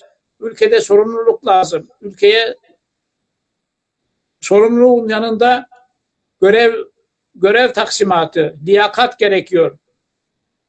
Utan utanması gerekiyor bazılarının yaptıklarından. Size bir şey söyleyeyim mi Sayın Çalışkan? Şimdi çok güzel bir konuya değindiniz. Grup başkan vekilleri mecliste izin vermeden milletvekillerimiz konuşamıyormuş biliyor musunuz? Şaka gibi. Yani grup başkan Ya, vekili bakın. ya grup başkan vekili milletvekili izin vermeden milletvekili konuşamıyor ya. Hı. Ya olaya bak ya. Ya kardeşim Evet. ben milletvekillerini tenzih ediyorum. Yani ortamda kendini ifade edemeyen, düşüncelerini söyleyemeyen, eğer bu gerçek ise düşüncelerini söyleyemeyen, milletin oy attığı insan temsili olarak onu savunamayan insan benim gözümde tuzluktur, tuzluk. Kurşun askerdir. Başka hiçbir şey yaramaz. Gazi Mustafa Kemal Paşa'nın kurdu- kurmuş olduğu o meclis, o yüce meclis, Gazi Meclisi'nde Kurtuluş Savaşı, Kurtuluş Savaşı sırasında bile, Kurtuluş Savaşı esnasında bile bütün ister ana muhalefetten olsun ister kendi partisindeki tüm milletvekilleri özgürce ve hiç sıkılmadan, hiç çekinmeden gerektiğinde Atatürk'ü bile Atatürk'ü bile eleştirebilmişlerdir. Milletvekili demek milletin vekili demektir. Milletvekili birilerinin vekili değildir. Devletin vekili olması gerekiyor. Bu devlet, bu yüce millet, bu e, 5000 yıllık millet kolay var olmadı. Bizim düşmanlarımız çok. Bizim ayağımızı kay- kaydırmak isteyenler, bizim yani tökezlememizi bekleyen o kadar gerçekten dış güçler var ki o dış güçler beklesin. Onların belki görevi, onlar görevini çok iyi yapıyor. Fakat bizler onlara fırsat vermememiz gerekiyor. Biz millet olarak, Türk millet olarak, Türk devlet olarak biz ne yapıyoruz? Biz bir an önce kendimize gelip şahlanmamız gerekiyor. Artık e, e, çağımız bilgisayar çağı, çağı, eğitim çağı, ileri teknoloji çağı, markalaşma çağı, ağır sanayi çağı. Yani bizim maalesef siyasetlerimiz, siyasetçilerimiz her gün söyleme sahip çok basit e, hani dedikodular hani bayan dedikoduları gibi kavga etmekten ben artık televizyonları açmaktan utanıyorum. Ya her gün yani gerçekten özlemle bir haber bekliyorum, bir yenilik bekliyorum, bir gelişme bekliyorum. Sanki yarın bugün yarın Türkiye'nin altından bir petrol çıkacakmış gibi ya da bir koskocaman bir hazine, yepyeni bir bor madeni bulacakmış gibi bir ümitlerle bu, vata- bu vatandaş dört gözle hükümet ve bütün partilerden bunu bekliyor. Birleşmek bekliyor. Kavga değil.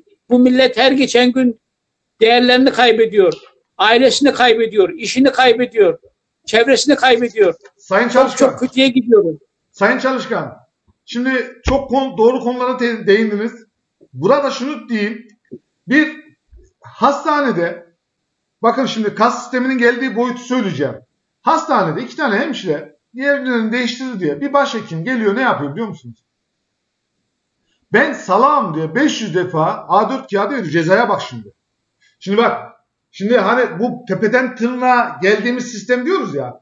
İnsanı hakir gören, insanı yok gören, nefsi nefsinden üstün gören anlayışın bakın nefsin nefisten üstün gören anlayışın yaptığı şu son şeyi ben ekranlara vereyim. Kumluca'da devlet hastanesinde bir skandal yaşandı. Başhekim görev yerinden Evet. ayrıldıkları gerekçesiyle iki hemşireye A4 kağıdına hakaret içeren ifadeler yazdırdı.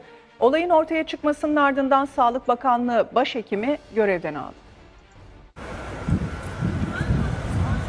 Böyle ceza görülmedi. Sırf görev yerlerini terk etti diye iki hemşireye A4 kağıdına 500 kere hakaret içeren ifadeler yazdırdı.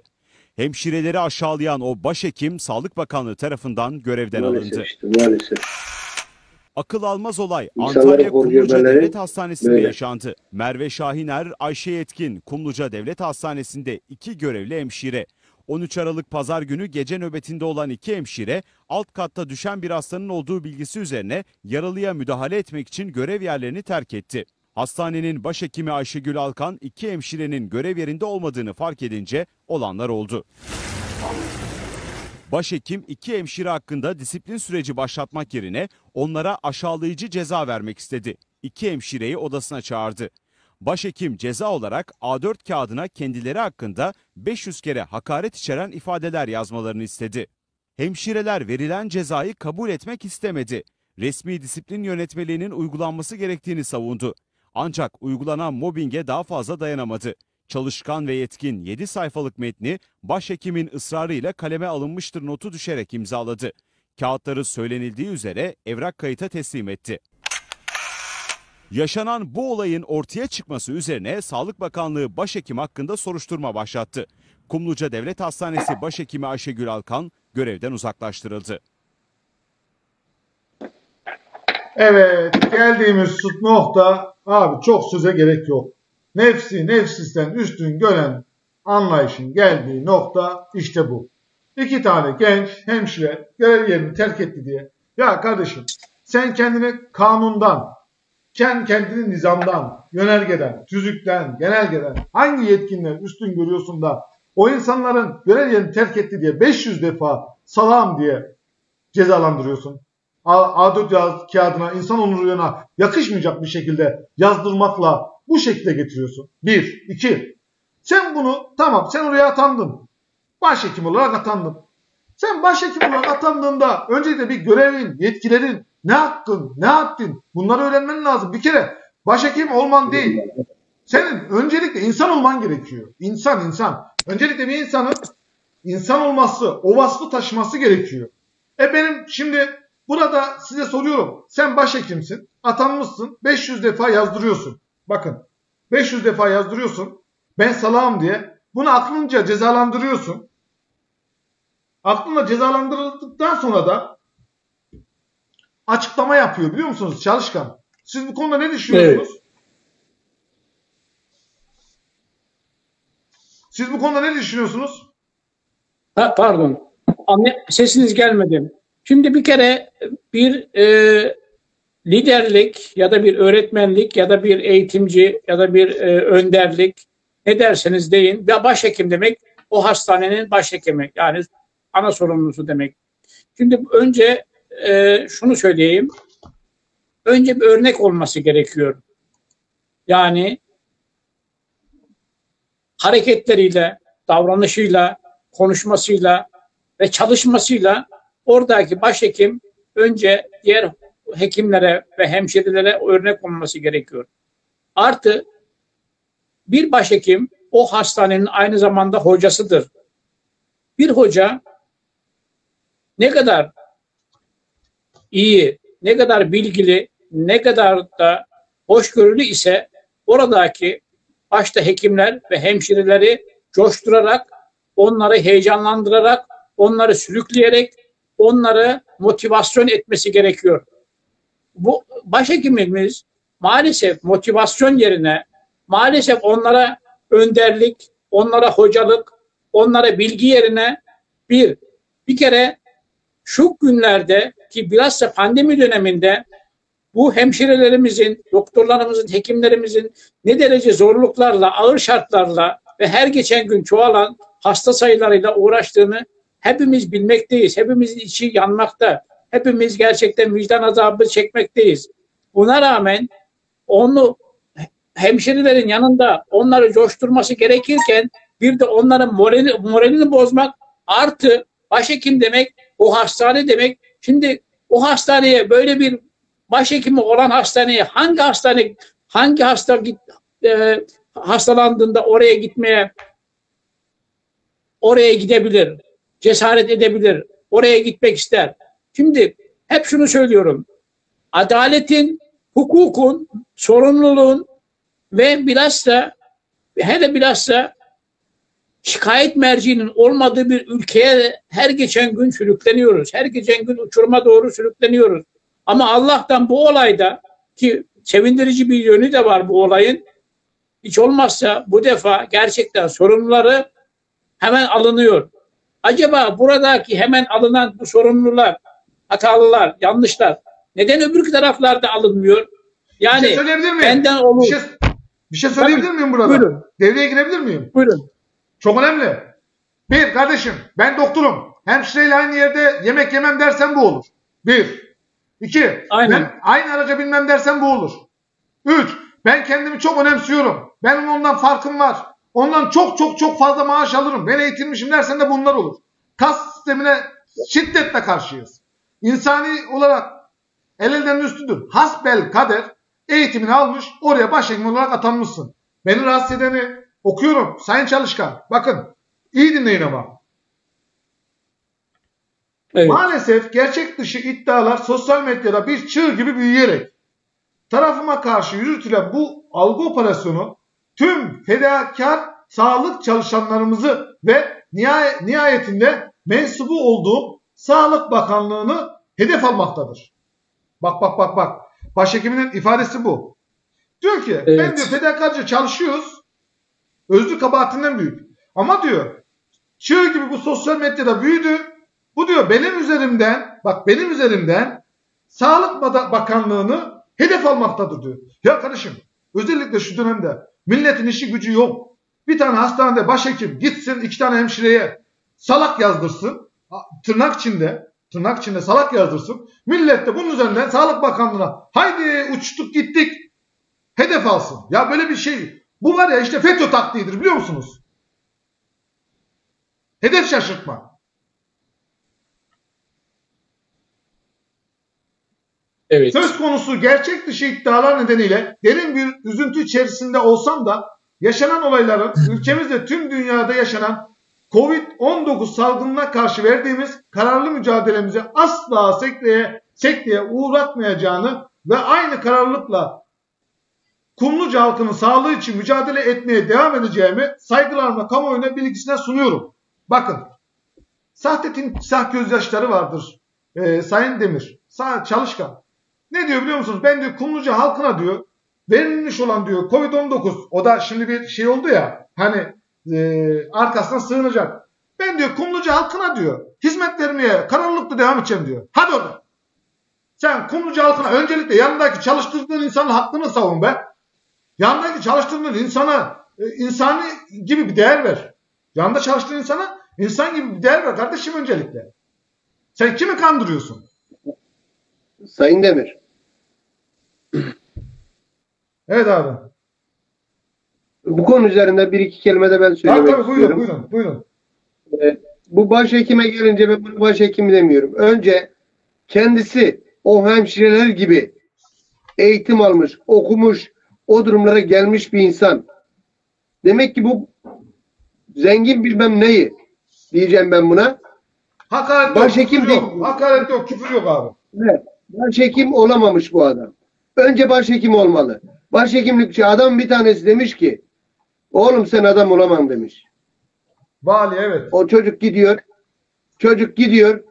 Okuyor, okuyor, okuyor, okuyor. En sonunda adı gol- yetkili oluyor. Vali midir, kaymakam mıdır? Haber gönderiyor. Babasını iki tane zabıtla aldırıyor. Getiriyor. Babası karşısına dikilmiş. Baba diyor. Sen bana adam olamam demiştin diyor. Bak ben adam oldum diyor. O da oğlum diyor. Evet makam mevki sahibi olmuşum ama yine adam olamamışım diyor. Öncelikle öncelikle o başhekim önce bir adam olsun. Aynen. O o kurumu bak ne dedik yayının başında biz Cumhurbaşkanını sevelim veya sevmeyelim. Tutalım veya tutmayalım. O bizim gibi bir insan. Biz de onun gibi. Biz onun makam ve mev- mevkisine saygı duymak zorundayız. Bu da bu şekilde. O makamı götüremiyor. O makamı da ona layık değil. Kınıyorum. Ya şimdi şöyle götüremiyor Evet. derken Sayın e, Demir şöyle. Sayın Cumhurbaşkanı Türklüğü temsil eder. Seçilene kadar birilerinin Cumhurbaş şey parti başkanıdır. Seçildikten sonra da Türkiye Cumhuriyeti'ni temsil eder. Temsiliyet şeyi vardır. Evet. Onda sıkıntımız yok. Ben onu ben onda değilim. Ben orasında değilim işin biliyor musun? İşin diğer tarafındayım. Yani görünen köy yani olduğu gibi yaşanılmalı. Bir ikincisi ve şöyle kesinlikle ve kesinlikle de tasarruf tedbirlerine harfiyen baş, tepeden tırnağa riayet edilmeli. Bir tarafta düğün bayram var iken diğer tarafta cenaze olmamalı. Cenaze varsa bu ülkenin içerisine hepimiz yas tutmalıyız, hepimiz ağlamalıyız. Bir tarafta düğün bayram var ise hepimiz gülmeliyiz, göbek atmalıyız. Hepimiz birlikte olma, neşelenmeliyiz. Bir tarafta çocuklar çeşit çeşit yiyeceklerin içerisinde, çeşit çeşit oyuncakların içerisinde, çeşit çeşit yiyeceklerin içerisinde yaşar iken bir tarafta çocuklar yatağa aç girmesin, aç girmesin. Zaten giriyor şu anda. Çocuklar yatağa aç girmesin. Benim tek derdim çocuklar. Evet. Abi derin konular, uzun konular. Zenginliği tabana yayacağız. Zenginlik tabana İnşallah. olmalı. Zenginliği 83 milyona yayacağız. Hani zenginleri alıp fakire vereceğiz demiyoruz. Fakiri zenginleştireceğiz. Bu sistem gelmeli. Özellikle çocuklarımızı yaşatmalıyız. Eğitim hakkını vermeliyiz. Sağlık hakkını vermeliyiz. Yaşatmak için de ne yapacağız? Gelirleri, gelir düzeyini, dar gelirli çalışan tabandaki insanların maaşlarını biraz daha yüksek tutarsak birileri gibi deveyi hamuduyla götürmeyeceğiz. Abi, Tabanda insana da vermemiz lazım. Say- Sayın Çalışkan müsaade eder misin? Birkaç tane e, seyircilerimiz çok yazı yazmış. Birkaç tanesi okumama müsaade eder misiniz? Tabii ben, ben, ben Almanya'dan da var. Ben de onları okumak istiyorum. Teşekkürler. Tamam ben ilk önce okuyayım. Kazım Turan çok sağ- yakın bir takipçimiz. Büyüğümüz. Kendisi hayırlı akşamlar, iyi yayınlar dilemiş. Ahmet Koca çok iyi bir takipçimiz. Büyüğümüz. Ellerinden öpüyorum. Ses yok demiş. Şu anda geldi demiş. Musa Şahin aynı şekilde büyüğümüz. Hayırlı yayınlar diliyorum. iyi akşamlar demiş. Ali Saçkara, Saçkara aynı şekilde aşı olacağım demiş. İlaçlar geliyor aşı olacakmış kendisi. Biz de size soracağım olacak mısınız diye. Erdal Çelik demiş ki merhabalar, selamlar, iyi yayınlar. Umarım insanlarımızı aşıya teşvik etmezsiniz demiş. Aşı olmayacağım demiş Erdal Çelik. Serhat Kılıç hayırlı akşamlar demiş il başkanı, İyi Parti il başkanımız. Ahmet Koca aynı şekilde. Mustafa Çetin selamlar demiş. Ben de ki şu an Kazım Turan o yazılar yazılar insanlık dışı demiş. Hemşerilerden için demiş. Buyurun çalışkan siz de hızlı hızlı okuyalım. Devam edelim. Bu arada seyircilerimize söyleyelim. Almanya'da- Bu arada seyircilerimize söyleyelim. Mansur Yavaş'la ilgili bir haberimiz var. Ekrem İmamoğlu'nunla ilgili bir haberimiz var. İki tane muhalefet. Biri Kur'an-ı Kerim'i Türkçe okutur iken onu eleştireceğim. Bir tanesi de bugün Ankara'da yağan iki tane muhalefetten bahsediyorum. Bakın şu an. Bir tanesi de Ankara'da yağan kardan dolayı yetememesinden dolayı halkından özür dileyen bir belediye başkanından bahsedeceğim. Bakınız. Bir tane Türkiye Cumhuriyeti Devleti'nin içerisinde ne gerek var kardeşim senin gibi muhalefet olmaz olsun diyorum. Kur'an-ı Kerim'i Türkçe okutarak attığın taş ürküttüğün kurbağaya değmiyor diyerek eleştireceğimi söylüyorum. Diğer taraftan da kar yağışından dolayı duyduğu üzüntüden dolayı özür dileyen bir belediye başkanını söylüyorum. Bizim için partisi, bizim için yeri, bizim için makamı, bizim için parası değil. Bizim için önemli olan yüreği. Yüreği olan insanlara burada en üst telden anlatacağız abi. Anlatmaya devam edeceğiz. Buyurun çalışkan. Evet, önce e, Almanya'dan İyi Toplum Gönülleri Almanya Başkanı Selçuk Şan, Selçukhan Başkanımız Hamburg'dan yazmış. Hamza Yerlikaya'nınla ilgili de Atatürk'ün dediği gibi ben sporcunun zekisini severim diye yazmış. Ona teşekkür ediyoruz, saygılarımızı sunuyoruz. Sayın İyi Parti Genel İdare Kurulu üyesiydi. Frankfurt'tan de- e, başarılar diliyor. sizlere ve şahsıma teşekkür ediyorum. Ramazan Nacak değerli dostum burada. Ee, uzun yıllar cami yani Diyanet Camii Başkanlığı yapmıştır kendisi. Teşekkür ediyoruz. Ee, Aydın'dan Aydın Milletvekili aday adaylarımızdan e, Selma Demir Hanım teşekkür ediyor. Başarılar diliyor ve hatta yayınımızda paylaşmış. Biz de onlara teşekkür ediyoruz. Selamlar Almanya'dan Osmaniye'ye ve İs- İstanbul'a saygılar, selamlar diyorum. Teşekkür ediyorum. Sayın Demir sizde var mı efendim? Ben de bakıyorum şu anda da benim internette biraz sıkıntı oldu. O zaman devam edelim mi? Siz geldiğinde katkı sunarsınız olur mu? Bir 5 dakika ara verme imkanımız olmaz mı? Tamam sayın seyirciler, izleyenler, takipçilerimiz bir 5 dakika kısa bir ara veriyoruz. Aradan sonra hep birlikte olacağız. Ee, müsaade ederseniz hem size ihtiyaç molası olmuş olur hem de bizlere de bir 5 dakikalık dinlenme molası olur. 5 dakika ara veriyoruz. Teşekkür ederim.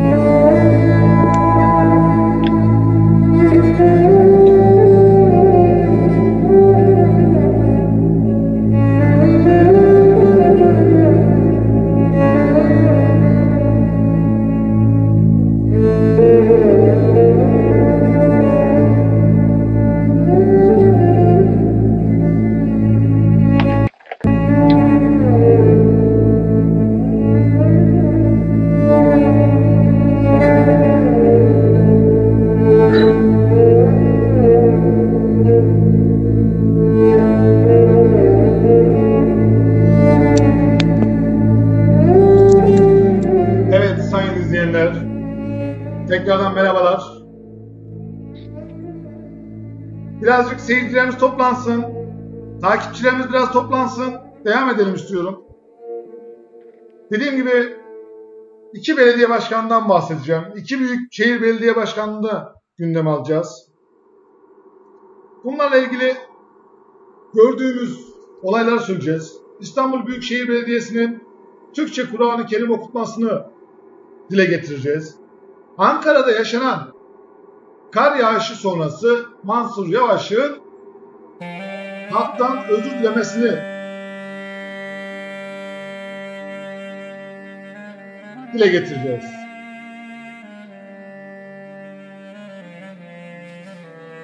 Kılıçdaroğlu'nun rahmetli başbuğ, başbuğ Alparslan Türkeş'in eşi Seval Türkeş'in evini ziyaretinde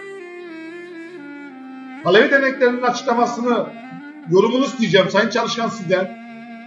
Ne anlama geliyor? Aynı şekilde Milliyetçi Hareket Partisi'nden bir eleştiri geldi. Bunun üzerine rahmetlinin oğlu Twitter'dan bir açıklama yaptı. Onu koyup yorumlamanızı isteyeceğim. Güncel konularla dop dolu devam edeceğiz.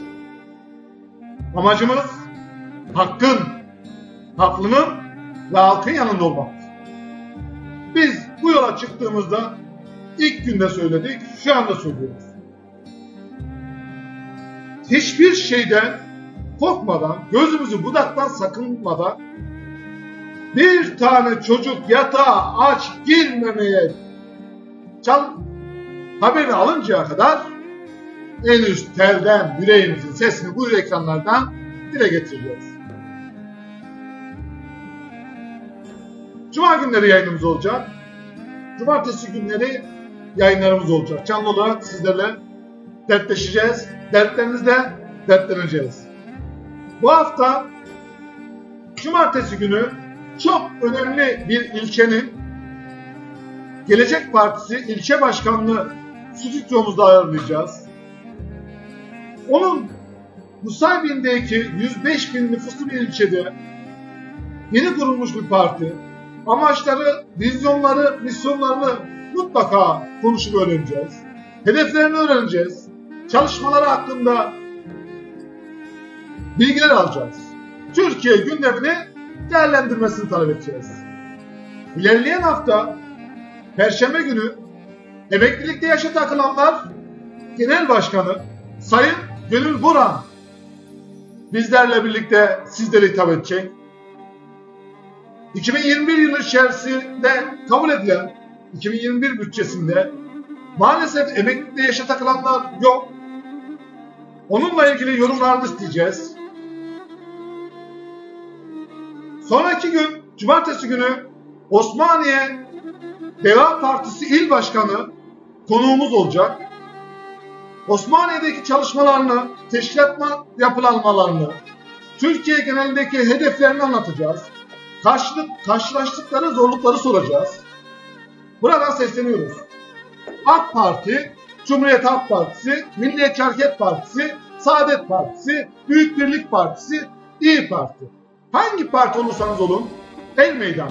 Hepimize kapımız açıktır. Yüreğinizin yettiği tuzaklardan çıkacak beyninizin düşündüğü her şeyi altınızda milletimizle paylaşabilirsiniz. Sonuçta takdir Yüce Türk milletinindir. Takdir bizi izleyenlerindir. Diyorum Sayın Çalışkan. Evet.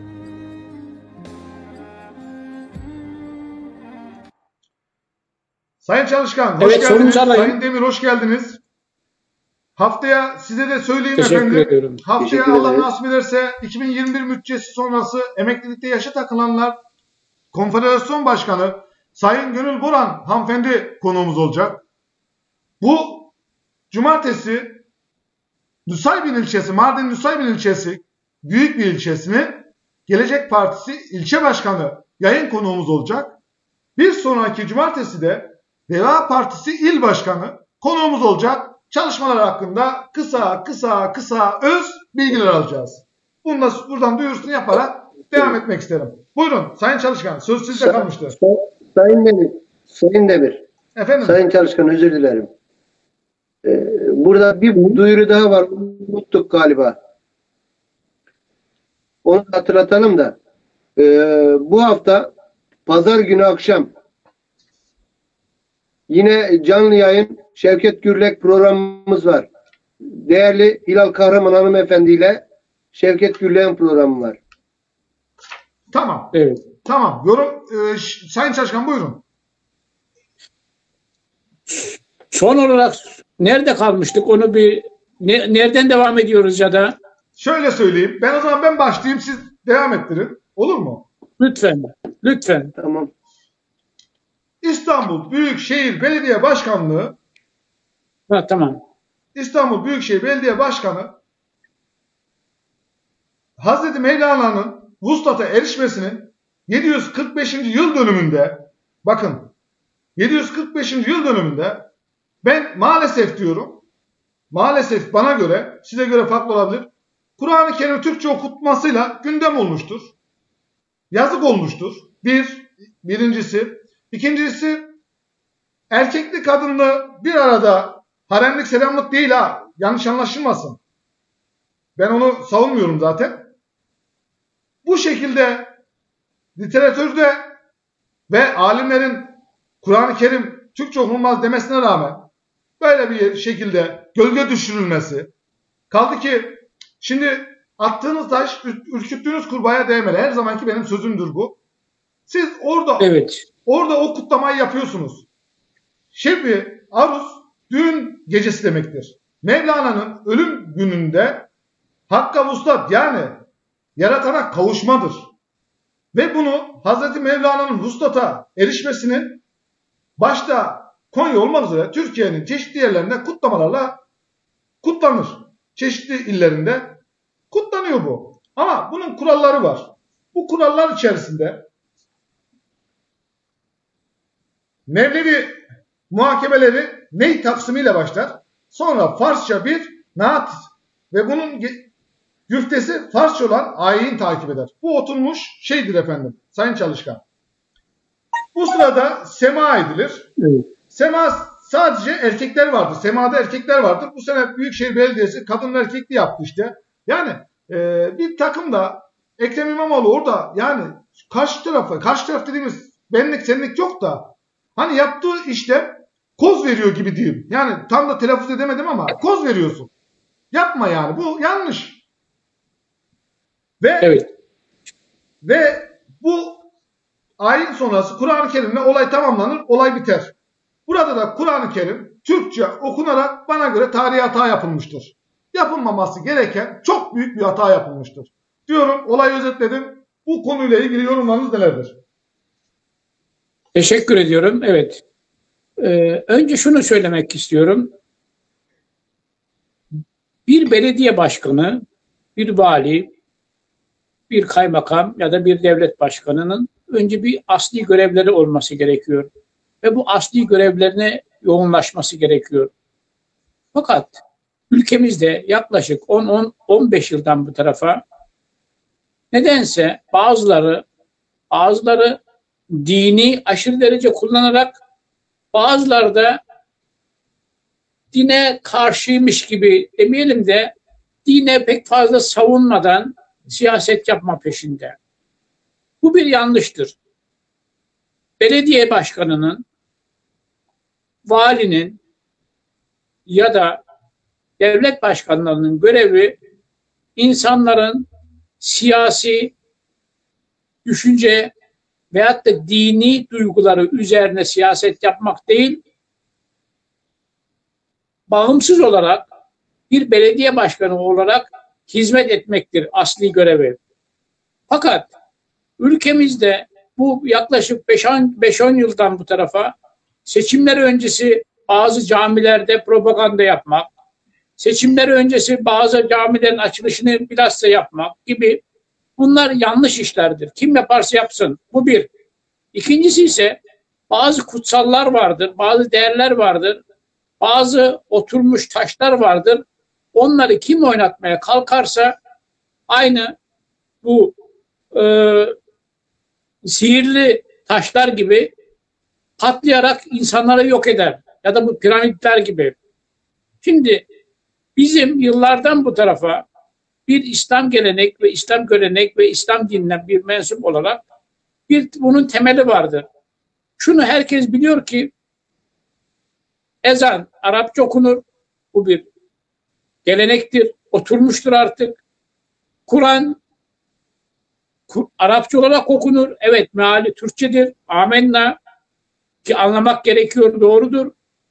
Fakat buradaki bazı değerleri göze girmek için ya da ben daha iyisini yapabilmek için yapabilirim düşüncesiyle eğer o temel taşları, temel direkleri siz sar, sarsarsanız, siz örselerseniz, siz yerinden oynatırsanız ne olursa olsun yanlıştır. Tekrar ediyorum. Bir belediye başkanının görevi belediyeye hizmet etmektir. Siyasi veyahut da dini değerlere katılarak, tutarak veyahut da eleştirerek veyahut da göz ardı edilerek veyahut da üzere çıkararak kesinlikle siyaset yapılmaz. Siyaset başkadır, tarih başkadır, din başkadır, eğitim başkadır. Ama üzülerek söylüyorum, ülkemizde son zamanda bu olaylar her geçen gün artmaktadır. Ben de aynı sizin gibi kim olursa olsun Ekrem İmamoğlu çok güzel hizmetler etmektedir son zamanda yapmıştır da fakat bu gereksiz ve hatta karşı tarafa çok büyük bir çok büyük bir fırsat vererek eleştirilere ve haklı olarak Koz kendine koz vermektir. Böyle bir olaya hiç ama hiç gerek yoktu. Teşekkür Sayın ediyorum. Çalışkan, Sayın Çalışkan, şimdi biraz sonra sizlere Devlet Bahçeli'nin son dakika bugün onu getireceğiz ama seyircilerimiz dağılmasın.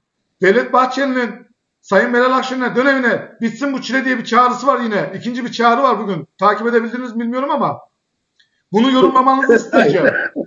Bunu yorumlamanızı isteyeceğim. Bunu sona saklıyorum. Bilginiz olsun. Şunu getireceğim ben de. Sayın Ekrem İmamoğlu sel felaketi oldu. Tatildeydi. Şimdi bakın ben açık net yüreklilikle söylüyorum. Ekrem İmamoğlu'nun seçimlerin iptal edilmesinde inanın Ekrem İmamoğlu, İmamoğlu'ndan daha çok üzülmemişsem hiçbir şey bilmiyorum. Ya kardeşim ben şeye bakarım. Yaptığım hamlenin, oynadığım oyunun kime fayda sağladığını, bana ne yarar sağladığını çok güzel niyetle çıkmışsınız yola. Çok güzel bir niyetle çıkmışsınız. Çıktığınız yolda e, Mevlana'nın 745. Yüce Allah'a ulaşını kutlamak istiyorsunuz. Ve bunun yolu da yordamı da bellidir. Kaldı ki İstanbul Büyükşehir Belediye Başkanlığı gibi bir makamın ve oradaki yöneticilerin bunu bilmesi lazım. Kur'an-ı Kerim'in bir kere Türkçe okunması düpedüz bir yanlışlık. Düpedüz bir yanlışlık. Şimdi ben diyorum ki bazen topu atarsın, pas atarsın, golü başkası ama topu taşıyan sensindir. İşte bana göre Ekrem İmamoğlu getiriyor getiriyor topu atıyor, paslıyor ve iktidar diyelim 90'dan golü takıyor. Ya kardeşim birinci şekilde seni yerden yere vurabileceği eline bir koz veriyorsun. Türkçe zin, e, Sayın Cumhurbaşkanı açıkladı. Bunların zihniyeti belli. Binareli'den Türkçe ezan okuttular falan gibi bir açıklama yaptı. Yani düşürdüğün, düşürdüğün duruma bak. Yani bir kere inanışımız gereği de yani bunu alimler açıklamış. Dünya ülkeleri Müslüman ülkelerinde kabul edilmemiş. Hepsi Arapça okunmuş. Ve Türkiye Cumhuriyeti Devleti'nin içerisinde Türkiye Cumhuriyeti Devleti içerisinde resmi olarak Diyanet İşleri Başkanlığı bunun Arapça okunacağına dair vaiz vermiş. Bunun üstüne üstüne gidip de insanların gözüne sokmanın bir anlamı var mı? Kaldı ki ben kalan sağlar benim bu şekilde yürüyeceğim diyorsan da yazık edersin. Bana göre hoş olmamıştır diyorum. Sayın Demir, Doğru. Aynen. Hoş olmuş. Sayın Demir bu konudaki yorumumuz bu. Şimdi size Sayın Yavaş'ın Ankara'daki olayını getireceğim. Bakınız.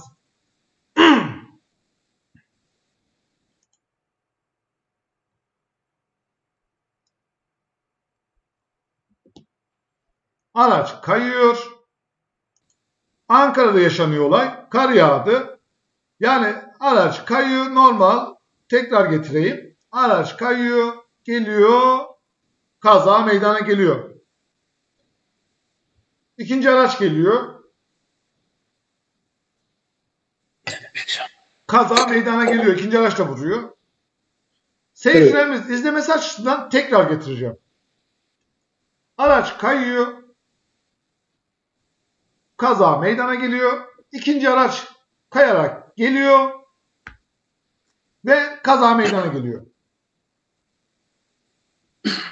Şimdi bunun hemen arkasından eski Ankara Büyükşehir Belediye Başkanı eski tekrar etmekte fayda var. İbrahim Melek Gökçek hemen bir tweet atıyor. Sayın Çalışkan.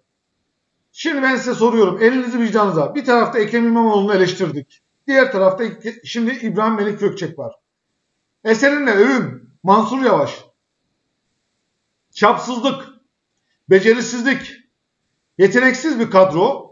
İşte bunun adı Mansur Belediye, Belediyeciliği. Okuyabildiniz mi? Evet, evet.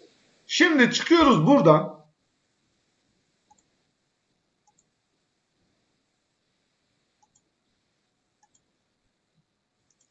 Sayın Mansur Yavaş'ın aynen şeyini okuyorum. Karla mücadele çalışmalarımızda 926 noktaya müdahale ettik. Bazı noktalarda sıkıntılar yaşadığını bilgisini aldım. Yaşandığı bilgisini aldım. Hiçbir bahane üretmeden sıkıntı yaşayan hemşerilerimizden özür diliyorum. Sorunların giderilmesi için tüm önlemleri alıyoruz. Güveniniz için teşekkür ederim. Adam. Abi şu Melik Gökçe'nin tweetini tekrar vereyim. Eserimle övün yavaş. Çapsızlık, becerisizlik, yeteneksiz bir kadro. İşte bunun adı Mansur Belediyeciliği. Karla mücadele, mücadele çalışmalarımızda 926 noktaya müdahale ettik. Bazı noktalarda sıkıntılar yaşandığı bilgisini aldım. Hiçbir bahane üretmeden sıkıntı yaşayan hemşehrilerimizden özür diliyorum. Sorunların giderilmesi için tüm önlemlerimizi alıyoruz. Güveniniz için teşekkür ederim. Evet. Kıymetli arkadaşlar, değerli dostlarım. Bir tarafta eski Ankara Büyükşehir Belediye Başkanı var. Ankara'yı heykellere, dinozorlara 3 katrilyon yolsuzluk Cumhuriyet Savcılığına verildi.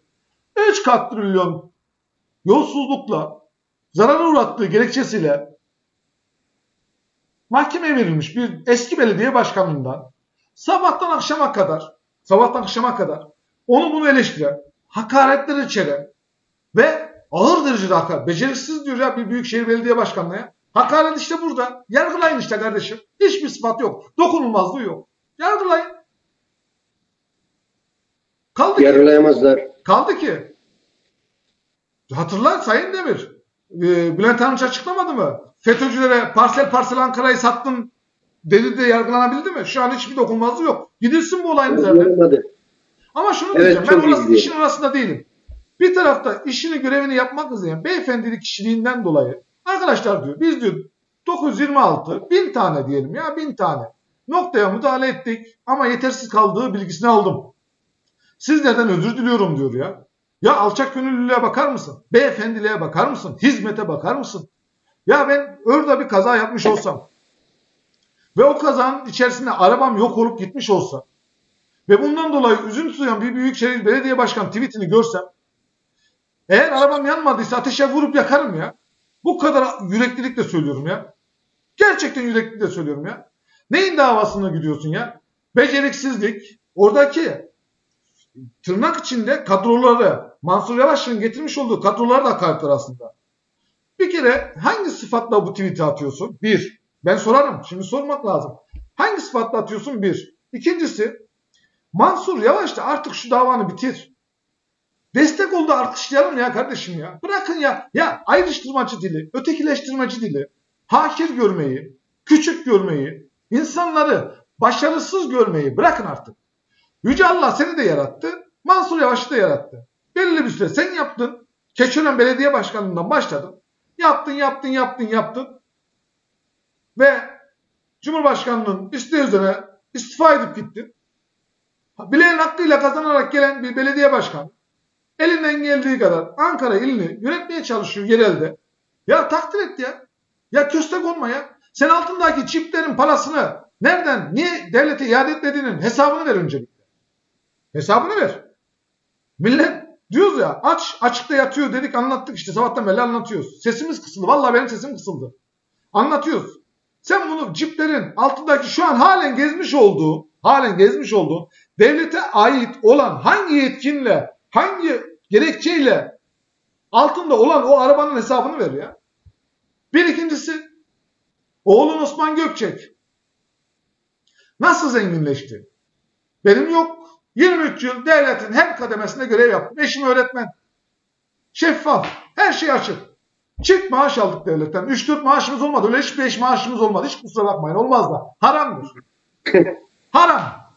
Devletin devletin o pürüzde elek şeyini takıyorsun ya cep telefonunu şarjı yapıyorsun ya o bile haram mı helal mı tartışılır kardeşim yetim hakkı var.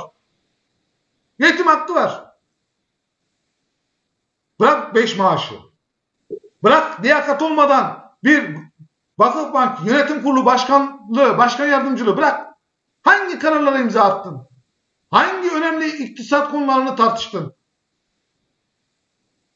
Hangi bankayı kalkındırma adına, tasarruf adına, üretim adına, bankayı güçlendirme adına bilmez misin ki imandan bahseden, dinden bahseden faizin içine güm gömüldü. Pat diye çaktım. Beni inandıramazsınız. Ondan dolayı şunu söylüyorum. Sayın Melek Gökçe, uzun yıllardır takip ederim seni. Yaşlandın gittin. Artık vuslata erme. Yani hani kutluyoruz haftasındayız öyle söyleyelim. Vuslata erme yaşadığımız şu haftada, kutladığımız şu haftada. Ben size soruyorum. Vicdanı midir?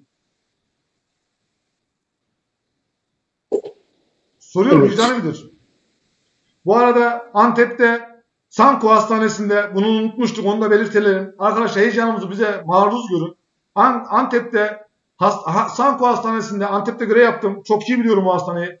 Gaz sıkışması sonucu patlamada vefat eden Covid hastalarımız Allah'tan rahmet geride kalanlara sabır diliyoruz. Bunu da bir ekleyip size bırakıyorum Amin. çalışkan. Buyurun. Söz kime verildi? Pardon. Çalışkan sizde. Buyurun çalışkan. Sayın Buyurun. çalışkan. Buyurun. Evet, önce e, ben de teşekkür ediyorum. Bu arada bizi izleyen Almanya'dan ve Türkiye'den Ramiz Serbest, Ünal Kılıç ve Nuray Ruhican ve Davut Öner'e selamlarımı sunuyorum buradan. Teşekkür ediyorum. Önce şunu söylemek istiyorum. Böyle doğal afetler yani ilk kar, ilk sel, ne bileyim ilk yangın gibi doğal afetlerde ilk günü arabaların kayması ya da istenilmeyen olayların ya da üzücü hatta ölümlerin olması gayet doğal. Bu dünyanın her tarafında ilk kar yağdığı günü insanlar hazırlıklı değildir, e, hazırlıklı değildir, birden olmuştur gibi böyle olaylarda kesinlikle bir belediye başkanının yapabileceği hiçbir şey yoktur. Bırakın belediye başkanını hükümetin bile yapabileceği bir şey yoktur. Bu bir doğal afettir. Bu bir. Doğal afettir. Önce bunu bir, bil- e, bilmek gerekiyor. İkincisi, Melih Gökçek önce şu soruyu lütfen kendine kendisine sorsun. Yani o yazıyı yazan Melih Gökçek tekrar kendisine sorsun ki bir hesaplasın. Vicdanen bir hesaplasın. Ben görevden neden alındım? Suçluyum mu? Suçlu muyum? Suçluysam neden mahkeme karşısına çıkmadım? Suçsuz isem neden görevden alındım? Bu bir. İkincisi Melih Gökçek önce önce Anka Park'taki o dinozor ki onlar da plastik onlara milyarlarca Türk lirasını harcayarak neredeyse bir tane tank palet fabrikası yapabileceğimiz koskoca okullar, koskoca hastaneler, koskoca yollar yapacağımız bir parayı belirli müteahhitlere verdirebilmek için milyarlarca dinozor yap, dinozor görünümlü ya da dinozor yaparak masraf etmiştir ve onların hepsi şu an çöktü. Maalesef hükümetimiz şu anki iktidar kendisinin hatalarını görmeyip fakat karşı taraftaki hele bilhassa muhalefetin yönettiği il veyahut da ilçelerdeki belediyelerin en küçük hatalarını görerek üzerine gitmektedir. Ben şunu söylüyorum. Ben de yıllardan bu tarafa siyaseti Almanya'dan takip ediyorum. Bilhassa Türkiye'deki ki göz bebeğimiz olan Türkiye'deki olayları çok yakinen takip ediyorum. Şunu herkes bir yere not alabilir. Çok büyük iddiam da yok. Fakat Mansur Yavaş şu an Türkiye'nin gelecekteki en büyük siyaset, en büyük politikacılısı olma yolunda. Gerek yapmış olduğu hizmetlerle, gerek tarafsız, gerek şeffaf, gerekse gerçekten de Allah rızası için, millet için, devlet için, insan için yapan, çalışan en iyi ama en iyi belediyelerden bir tanesi. Bilhassa başkent olmak münasebetiyle, başkent belediyesi olmak, belediye başkanı olmak münasebetiyle geleceğin çok büyük yıldızlarından bir tanesi. Keşke bütün belediye başkanları, belediye başkanları, bakanlar, milletvekilleri ve valiler Mansur Yavaş'ın çalıştığının yarısının yarısının yarısını çalışabilselerdi Türkiye 6 ayda inanın şöyle çok büyük bir kıpırdama, çok büyük bir şahlaşa geçerdi. Keşke Mansur Yavaş gibi çalışılabilseydi. Ben Mansur Yavaş'ı bırakın eleştirmeyi, bırakın e, kötü konuşmayı.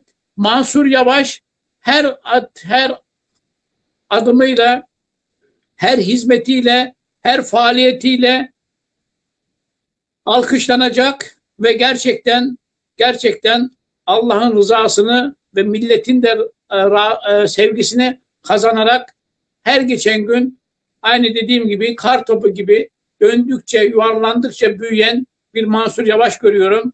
Allah yolunu açık etsin, ayağına taş değdirmesin diyorum. Teşekkür ediyorum.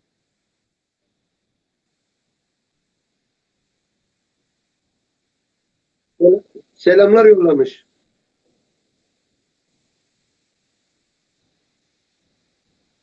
Bir saniye. Yok yok kaldırma da selamlarını iletmiş. İstanbul Pendik'ten selamlar. Gelecek Partisi.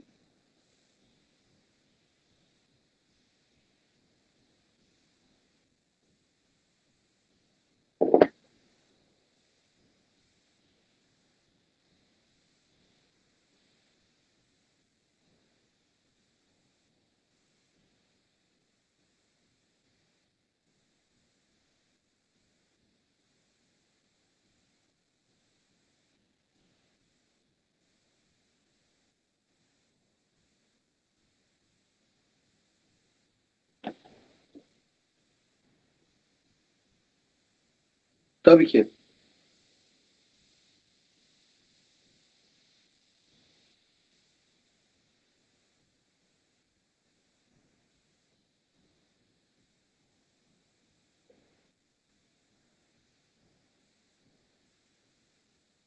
Buradan e, ben de, ben de bir ekleme yapayım. Ben de birkaç selam var onları ileteyim Mahmut Bey. Ee, Ataşehir'den selamlarını iletiyorlar. Es, e, Çağrı Hipermarketler Zinciri Ataşehir Şubesi'nden başarılar diliyorlar. E, Bulgurlu'dan başarılar diliyorlar. Ve benim çalıştığım yakın fırın sahibi Metin Gedikoğlu selamlarını iletiyor. Saygılar sunuyor. Başarılar diliyorlar.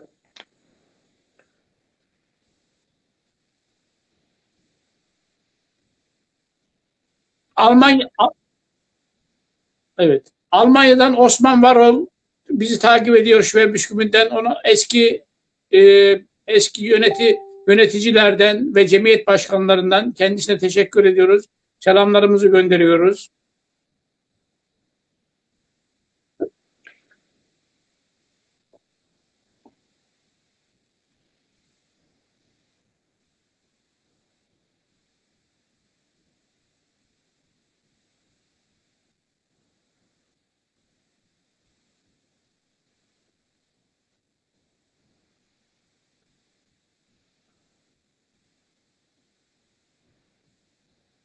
okuyacaksınız.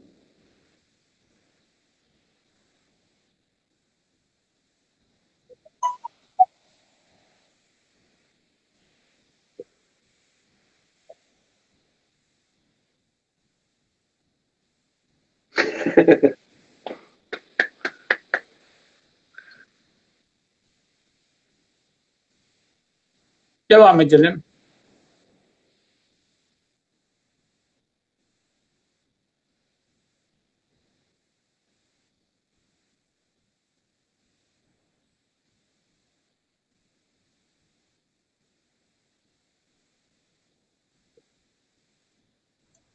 Onun öncelikle seyircilerimize onun öncelikle seyircilerimize bir seyrettirelim. Sonra sizin yorumlarınızı isteyeceğim.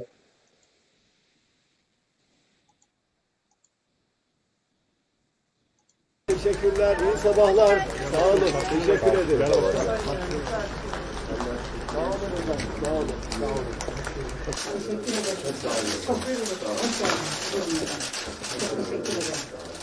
Zor bir dönemden geçiyoruz. Destekliyoruz. Evet, zor bir dönemden geçiyoruz da başlayacağız bunları. Farklı görüşler olabilir. Biz farklı görüşlere saygı duymak zorundayız. Kaldı ki dünyanın büyümesinin ve gelişmesinin temel dinamosu insanların farklı görüşlere sahip olması. Sahip olması, evet. Evet. Evet. evet.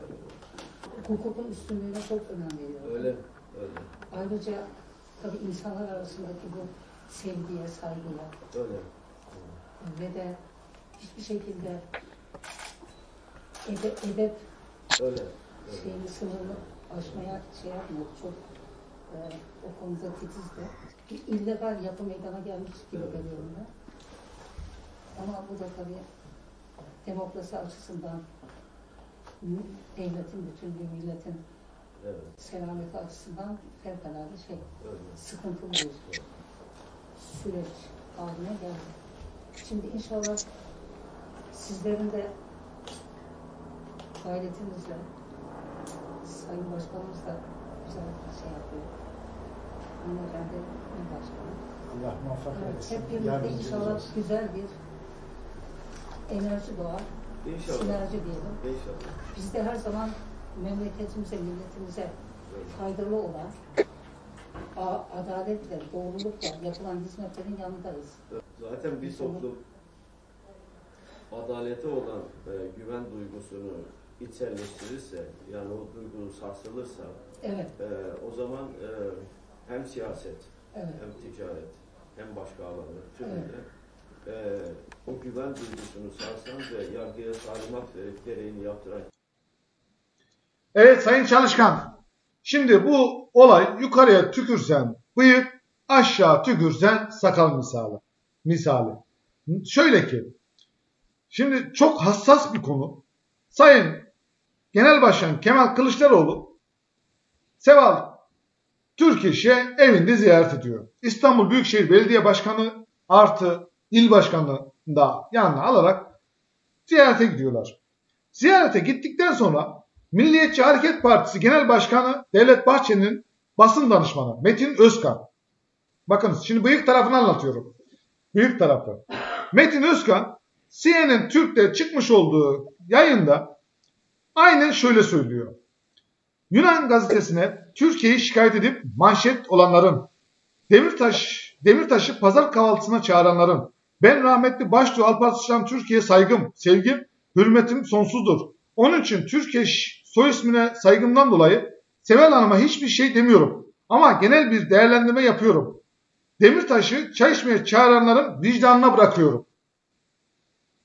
Açıklaması. Ayrıca biliyorsunuz Maraş olaylarını bilirsiniz. Sayın Çalışkan mutlaka bilirsiniz. Evet. evet. Or- orada Alev, Alevi derneklerinin bir açıklaması var. Alevi derneklerinin bir Şimdi sakal kısmındayız. Hani yukarıya tükürsen bıyık, aşağı tükürsen sakal olayı var ya. Ben de sizden sonra mut- mutlaka yorumumu getireceğim. Alevi dernekleri bu ziyaretle ilgili bir açıklama yaptı. Ortak bir açıklama yayınlayan Avrupa Alevi Birlikleri Konfederasyonu bu ziyaretin sebebini adalete olan vurgunuz ve söylemleriniz net bir şekilde anlatacak mısınız? Kemal Kılıçdaroğlu'na soruyorlar. Bu ziyaretin sebebini adalete olan vurgunuz ve söylemlerinizle net bir şekilde anlatacak mısınız diyor derler. Yoksa Alevilerin mazlum bir toplum olmasını olmasına bilinçaltınızdaki küçümsemeyi mi küçümsemeyle mi bakıyorsunuz der. Alevi dernekleri de böyle bir açıklama yapar. Maraş olaylarını Maraş katliamı ve Maraş olaylarını biliyorsunuz. 19 Aralık ve 26 Aralık 1978 tarihinde Maraş'ta Aleviler öldürül vefat et, öldürülmüştü diyorum. Onu biliyorsunuz zaten açıklamaya gerek yok. Burası sakal kısmı. Burası sakal kısmı. Bu Metin Özkan'ın Metin Özkan'ın açıklaması üzerine CNN Türk'te yapmış olduğu açıklama üzerine rahmetli Alparslan Türkeş'in oğlu Kutalmış Türkeş aynen şunu yazar, söyler. Twitter'dan atar. Öncelikle Yıldıray isimli şahsiyetsiz fino. Türkeş'in bir ömür yanında olan eşi Seval Türkeş ve biz tutu- tutukluluk yıllarında her sabah 5'te kalkıp Mamak kapılarında beklerken senle anan evinizde uyuyor, sen de oyuncaklarla oynuyordun. Bilgi, bilgi liderin ve Semih iti de evinde yatıyordu. Bilgi liderin ve Semih iti de evinde yatıyordu dediği de Dev- Devlet Bahçeli ve Semih dediği de Genel Başkan Yardımcısı. Bir. ikincisi hassas bir konu. İkincisi Metin Özkan'la ilgili Metin Özkan'a da şunu atıyor tweetinde. Metin Özkan isimli ömründe Türkeş'le hiçbir şeyi paylaşmamış adama sorar mısınız diyor. Yay, şeye, Semiha Hanım'a. Seval Türkeş 5 yıl boyunca her gün hapishane kapılarında Türkeş'i beklerken Devlet Bahçeli ve Metin Özkan neredeymiş? Bahçeli Türkeş'in tutukluluk yıllarında Türkeş'le Türkeş ile kaç defa görüşmüşler? Tweet attı. Kemal Kılıçdaroğlu öyle bir yere gitti ki, öyle bir zamanda, öyle bir zamanda, öyle bir yere gitti, yukarıya tükürsen bıyık, aşağı tükürsen sakal misali. Evet Sayın Çalışkan, bu konuyla ilgili takipçilerimize ne söylemek istersiniz? Yorumunuz var mı? Evet. Evet, teşekkür ediyorum Mustafa Bey. Ee, teşekkür ediyorum Mahmut Bey. Ben Recep Çalışkan olarak kendi görüşümü ortaya koymak istiyorum.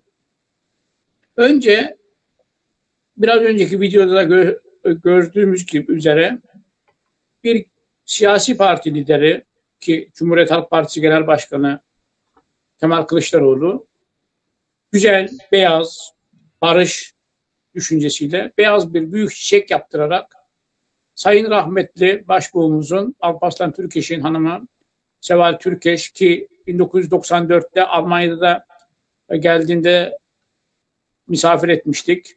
Onu ziyaret ediyor.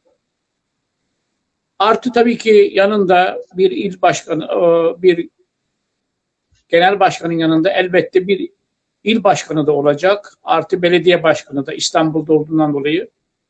Şimdi yıllardan bu tarafa biz şundan artık bıktık.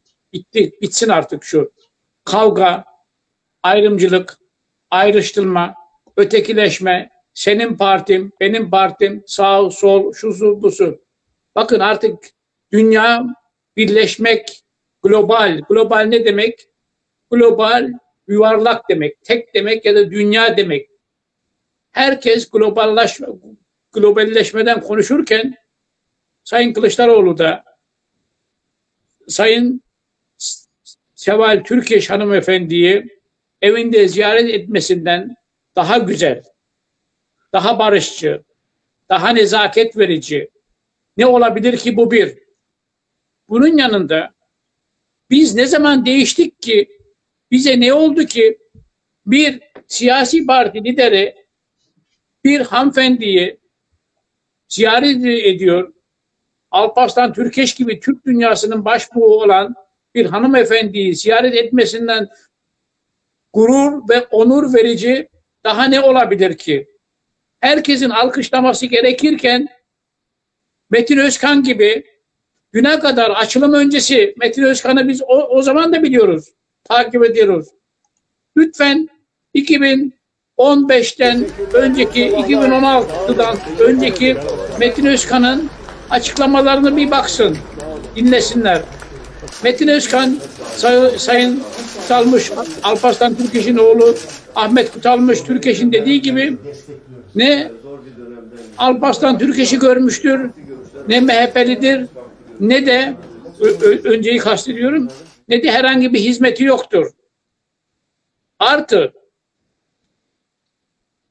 eğer şunu mu istiyoruz biz? Şunu sormamız gerekiyor. Yani Cumhuriyet Halk Partisi MHP'nin ayağına gidemez. MHP Cumhuriyet Halk, Partisi'nin ayağına gidemez. Biz artık bu ayrışımlardan, bu kavgalardan, bu kısır çekişmelerden bıktı bu millet. Bu millet ne çektiyse gereksiz yere tartışmalardan çekti. Bu millet ne, ne çektiyse sağ soldan çekti. Bu millet ne çektiyse si, siyasilerin kavgasından. Bakın şu an tekrar hemen şu güne dönelim. Yaklaşık bir yıldan bu tarafa, hep söylüyorum iki yıldan bu tarafa bir hükümete bakın, bir muhalefete bakın. Yani her gün kavga, her gün dövüş, her gün gereksiz yere e, kısır çekişmeler, kavgalar. Bizim bunları artık aşmamız gerekiyor. Türkiye ileri teknoloji, ileri bilim, ileriye gitmesi gerekiyor. Yenilikçi olması lazım. Üretmesi gerekiyor. Yeni yatırımlar yapması gerekiyor. Esas tartışmamız, esas kafamızı yormamız gereken konular bu olması gerekiyor. Elbette Cumhuriyet Halk Partisi e, Kemal Kılıçdaroğlu'nun ve yanındaki belediye başkanı ve il başkanıyla beraber Sevar Hanım'ı ziyaretinden daha güzel bir şey olamaz. Bu benim düşüncem. Ben bunu takdirle karşılıyorum, alkışlıyorum, birlikten kuvvet doğar diyorum. Keşke bütün siyasi partilerini e, ziyaret ederek birliklik ve insanlara e, bir ümit verebilselerdi. Ben böyle e, görüyorum. Yanlış Metin Özkan çok geriz, çok gereksiz yere insanları kışkırtmayla, insanları birbirlerine düşman etmeyle, insanları bir yöne doğru çekmeyle hiçbir yere varılmaz. Siyasi çıkar için veyahut da kendisini şiirini göstermek için kendisi çok milliyetçiymiş gibi ben bakın özetle şunu söylüyor, söylemek istiyorum. Bir insanı eğer not vermek istiyorsanız bir insanın şu anki durumuna bakın 10 sene öncekine bir de 20 sene öncekine eğer bir insan 10-20 seneden bu tarafa hiç değişmemişse düşünce olarak, fikir olarak o insan gerçekten de dirayetlidir. Ama bir insan bu parti, bu hükümet zamanında böyle, ondan önceki böyle, ondan önceki böyle. Böyle parti değiştiren, böyle hiç durmadan ha, parti değiştirmenin bir sebebi olur. Evet. İlk olarak e, bir, herhangi bir hani ilk defa değişilmemiştir siyasi partiler. Fakat bir sebebi olur. Gerçekten bir ölüm kalıcı bir sebep olur o zaman değiştirirsin. Ama güne kadar ki iktidara söylediği lafları ben kanal kanallarda çok iyi izledim. Habertürk'te çok iyi izler, izlerdim. E, Metin Metin Özkan'ın. Şimdi ise tamamen bunlar yanlış şeyler. Bunlar kısır çekişmelerdir. Ülkemize yalnız zarar getirir. Teşekkür ediyorum.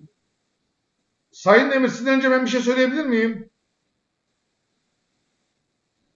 Buyurun. Yok sen söyle sen konuş ondan sonra ben konuşayım. Sen herhalde gücendin.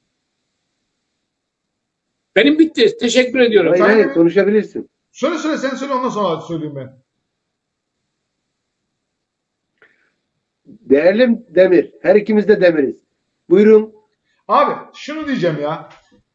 Ben de Metin Özkan'ı uzun yıllardır takip ediyorum. Basında bir Mehmet Metiner aynı telden vuruyor. Aynı demden gidiyor. Mehmet Metiner. Ayrıştıran, insanlara hakim, Melik Gökçek, Mehmet Metiner, insanları birbirine düşüren, kışkırtan. Versinler benim mahkemeye. Net söylüyorum. Bakın. Mehmet Metiner'i uzun yıllardır takip ederim. Bir. Şamil Tayyar'ı uzun zamandır takip ederim. Şamil Yar'a, e, Tayyar ayrı bir potada. Yani onun bir üst ligde farklı bir konumu var. Onu önemsiyorum. Mustafa Yeneroğlu önemsiyorum. Bak e, şu açıdan söylüyorum bunları. Ne neden söylüyorum biliyor musunuz? Özellikle Mehmet Metiner basınla çok aşırı neşir olarak da aynı zamanda siyaset yapanlardan bahsediyorum bu arada. İsimleri verirken o telden gidiyorum. Ve Metin Özkan. Abi senin haddine mi düştü ya? Sen bu olayda bir bilge lider deniliyor. Bir inanmışlık var. Bir ya hiçbir şeyi bırak. İnsan saygı duymak zorunda. Emanettir ya. O insanlar, o hanımefendi, o genç delikanlı çocuk emanettir abi ya. İnsanın derken ne kadar sevmezsen sevme, ne kadar yaptıkları yanlışlık olsa da insan rahmetlinin hatırına binaen konuşurken dili titrer, dili. Dili Tabii titrer ki. ya. Yani bir ikincisi Kemal Kılıçdaroğlu'nun oraya gitmesi seni bu kadar büyük bir rahatsızlık vermesinin ana gayesi ne? Temeline bakmak lazım. Perde arkasına da bakmak lazım. Bir perdenin önü var ama perdenin arkasına bakmak lazım. Kemal Kılıçdaroğlu bana göre Alevi dernekleri de açıklama yaptı. Öbür taraftan Milliyetçi Hareket Partisi işte basın danışmanı da CNN Türk'te aynen şöyle söylüyor abi. Yunan gazetesine Türkiye'yi şikayet edip manşet olanların, Demirtaş'ı pazar kahvaltısına çağıranların, ben rahmetli başlıyor Alparslan Türkeş'e saygım ve sevgim hürmetine hürmetim sonsuzdur. Bakın orada diyor ki şunu demek istiyor. Kelimeleri açtığınızda Alparslan Türkeş olmasaydı diyor. Bu insanlar teröristti diyor ya. Resmen ya insanlara. Ya bir başbuğun hanımına yani ben e, kayırdığımdan falan değil ha savunduğumdan da değil. Senin haddine mi ya yetkine mi ya? Yetkine mi ya? Kardeşim hangi sıfatla hangi sıfatla kalkıp da insanlara bu yapıştırmayı yakıştırmayı yapabiliyorsun ya? Ya perde arkasında var ya yaranma var biliyor musun? Hani düpedüz izleyenlerimiz affetsin. Tırnak içinde yalakalık var biliyor musunuz aslında? O düşünceler değil. Sayın Çalışkan ben size aynen katılıyorum. Deniliyor ki ben diyor rahmetliğin hakkına binaen susuyorum. Susmazsam bak susmazsam eyvah sizi alır tavana götürür yere gömer sizi yok ederim diyor ya. Ya sen haddine sen kimsin ya? Sen kimsin bir kere ya? Hangi sıfatla hangi yetkiyle bu konuşmayı dile getirebiliyorsun ya? Ben bunda özellikle şunu söylüyorum. Sayın Çalışkan kesinlikle perde arkasına bakmak lazım. Bu açıklama yapmak lazım. Perde arkasında da yaranma var yalakalık var ya bu adamın. Ben onu görürüm. Dediğiniz gibi önceki açıklamalara baktığın zaman da hayret içerisinde kalıyorsun ya. Kemal Kılıçdaroğlu'nun ziyaretiyle ilgili buradan Alevi derneklerinin açıklamasına da üzüntüyle karşılıyorum. Metin Özkan'ın açıklamasını üzüntüyle karşılıyorum.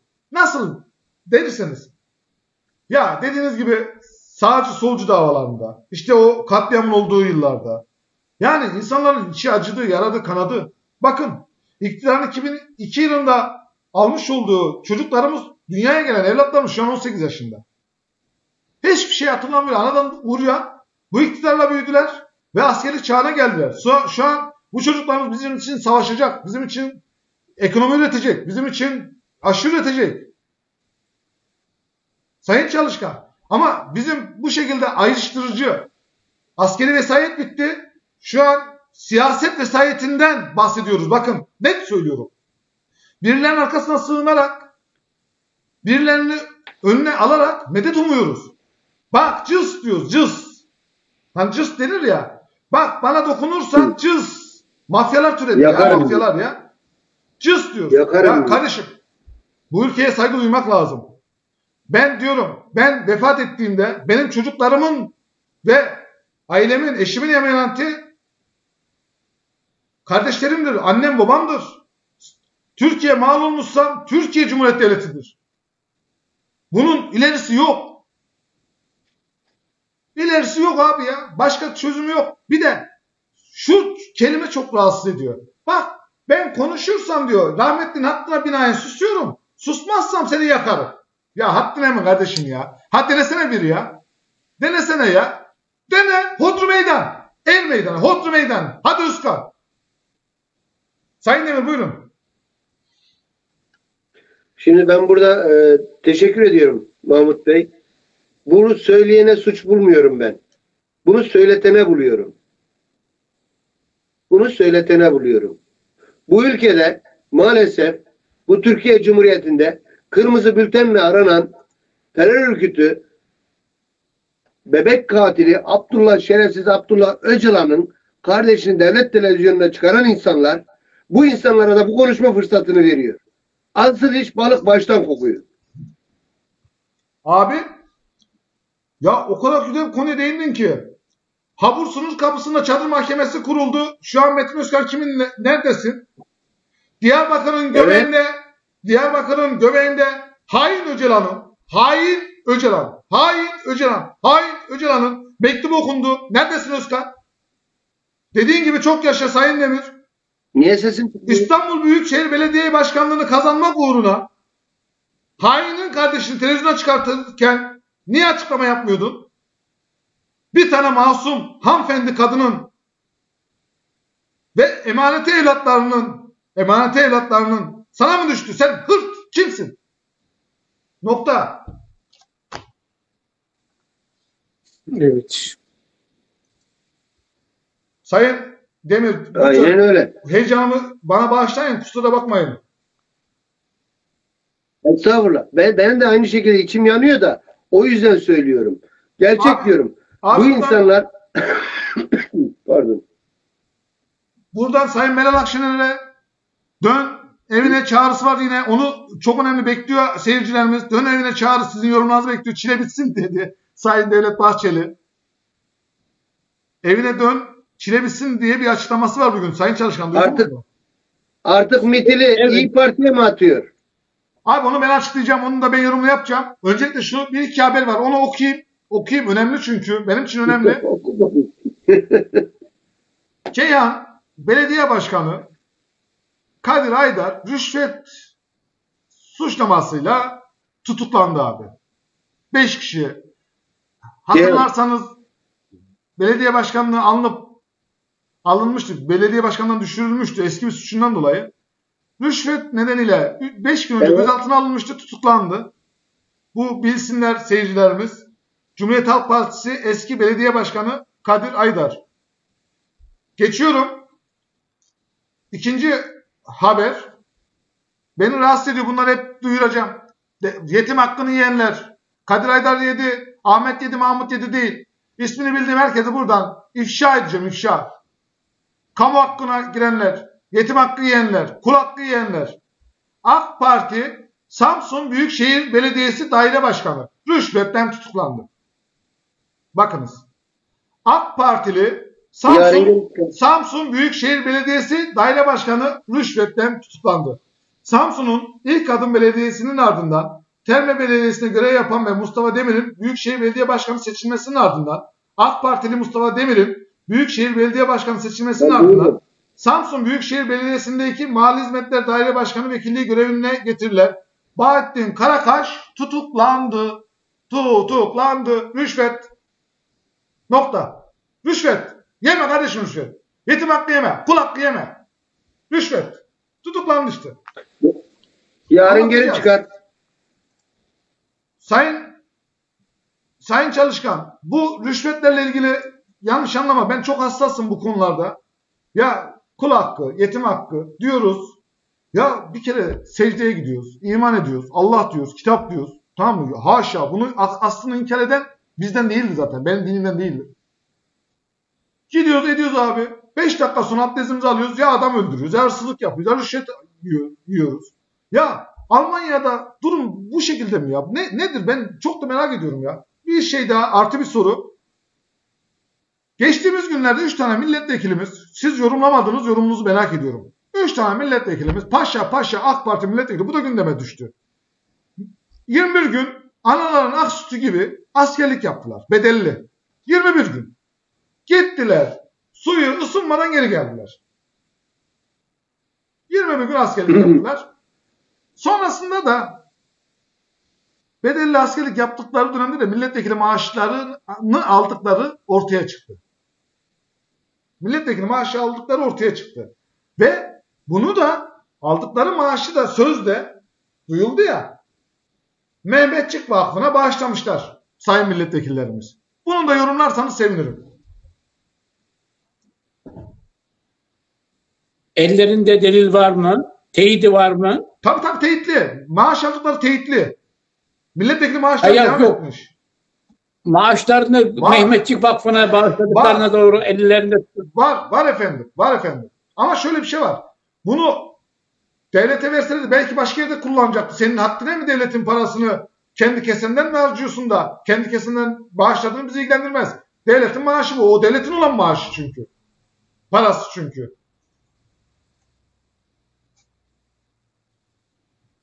Evet. Şimdi hep şunu söylüyoruz programımızda. Hep şuna vurgu yapıyoruz. Bir, bir kere ahlak. Ahlak olmayan insanı ne din, ne millet, ne kültür, ne de hiçbir şey ama hiçbir şey us- uslandıramaz. Önce bir ahlak lazım. Ahlak içeriden olur. Ahlak şahsiyetin kendisinden mahsustur. Ahlak dürüst insanda olur. Ahlak edepli insanda olur. Ahlak adaletli insanda olur.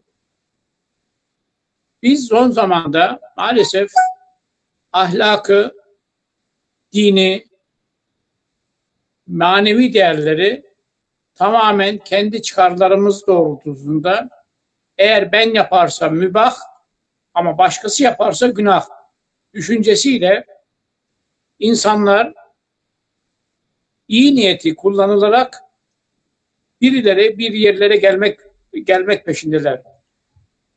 Bir defa eğer sen askere gideceksen önce şunu soruyorum. Önce şunu soruyorum. Ya da vatandaşlar şöyle bir izleyicilerimiz şöyle düşünebilirler. Şöyle düşünsünler. Üniversiteye giden bile askere gitmez gitmez iken koskoca milletvekili nasıl askere gidiyor? Gidiyorsa hangi şartlarda gidiyor? Milletvekili maaşı askerdeyken ödeniyorsa öbürkü gariban askerlere neden ödenmiyor? Aynı maaşı alıyorlar mı gibi? Hep şunu söylüyoruz. Adalet, hukuk ve egoizm. Bu şöyle diyelim daha doğrusu egoizm olan yerde adalet ve hukuk ve dürüstlük olmaz. Bir de iktidarın, hükümetin ya da iktidarın nimetlerinden yararlanılıyorsa maalesef bu ülkemizde her geçen gün dediğim gibi devlet ciddiyetini, devlete olan vatandaştaki saygınlığı, siyasetçilere olan, milletvekillere olan güvence her geçen gün maalesef ama maalesef diyorum çok kötü şekilde etkilemektedir. Biraz önce söyledim. Yaklaşık bir saat önce buradan söyledim. Bir, Alman Başbakanı, ya özür diliyorum, Alman Cumhurbaşkanı, bundan üç dönem önceki Cumhurbaşkanı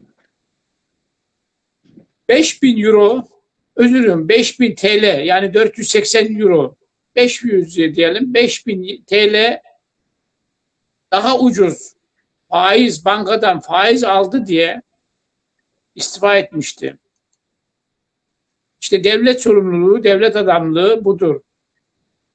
Ve orada şunu söylüyorlar. Ya olabilir.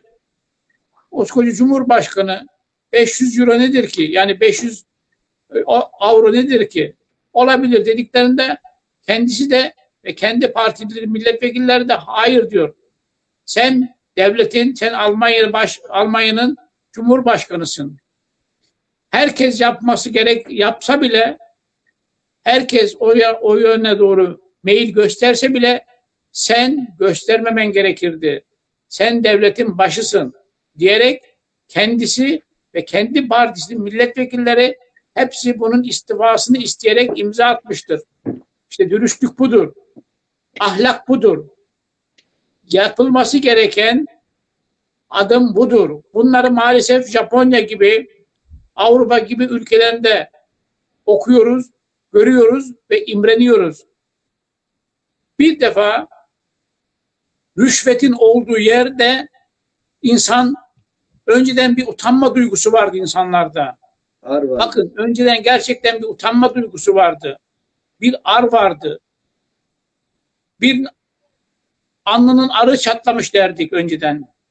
Şimdi maalesef insanlar bunları utan utanma duygusundan uzak oldukları gibi hatta utanmazlıklarda üstüne giderek daha da kötüye daha da kötü örnek olarak her gün önümüze çıkmaktadır.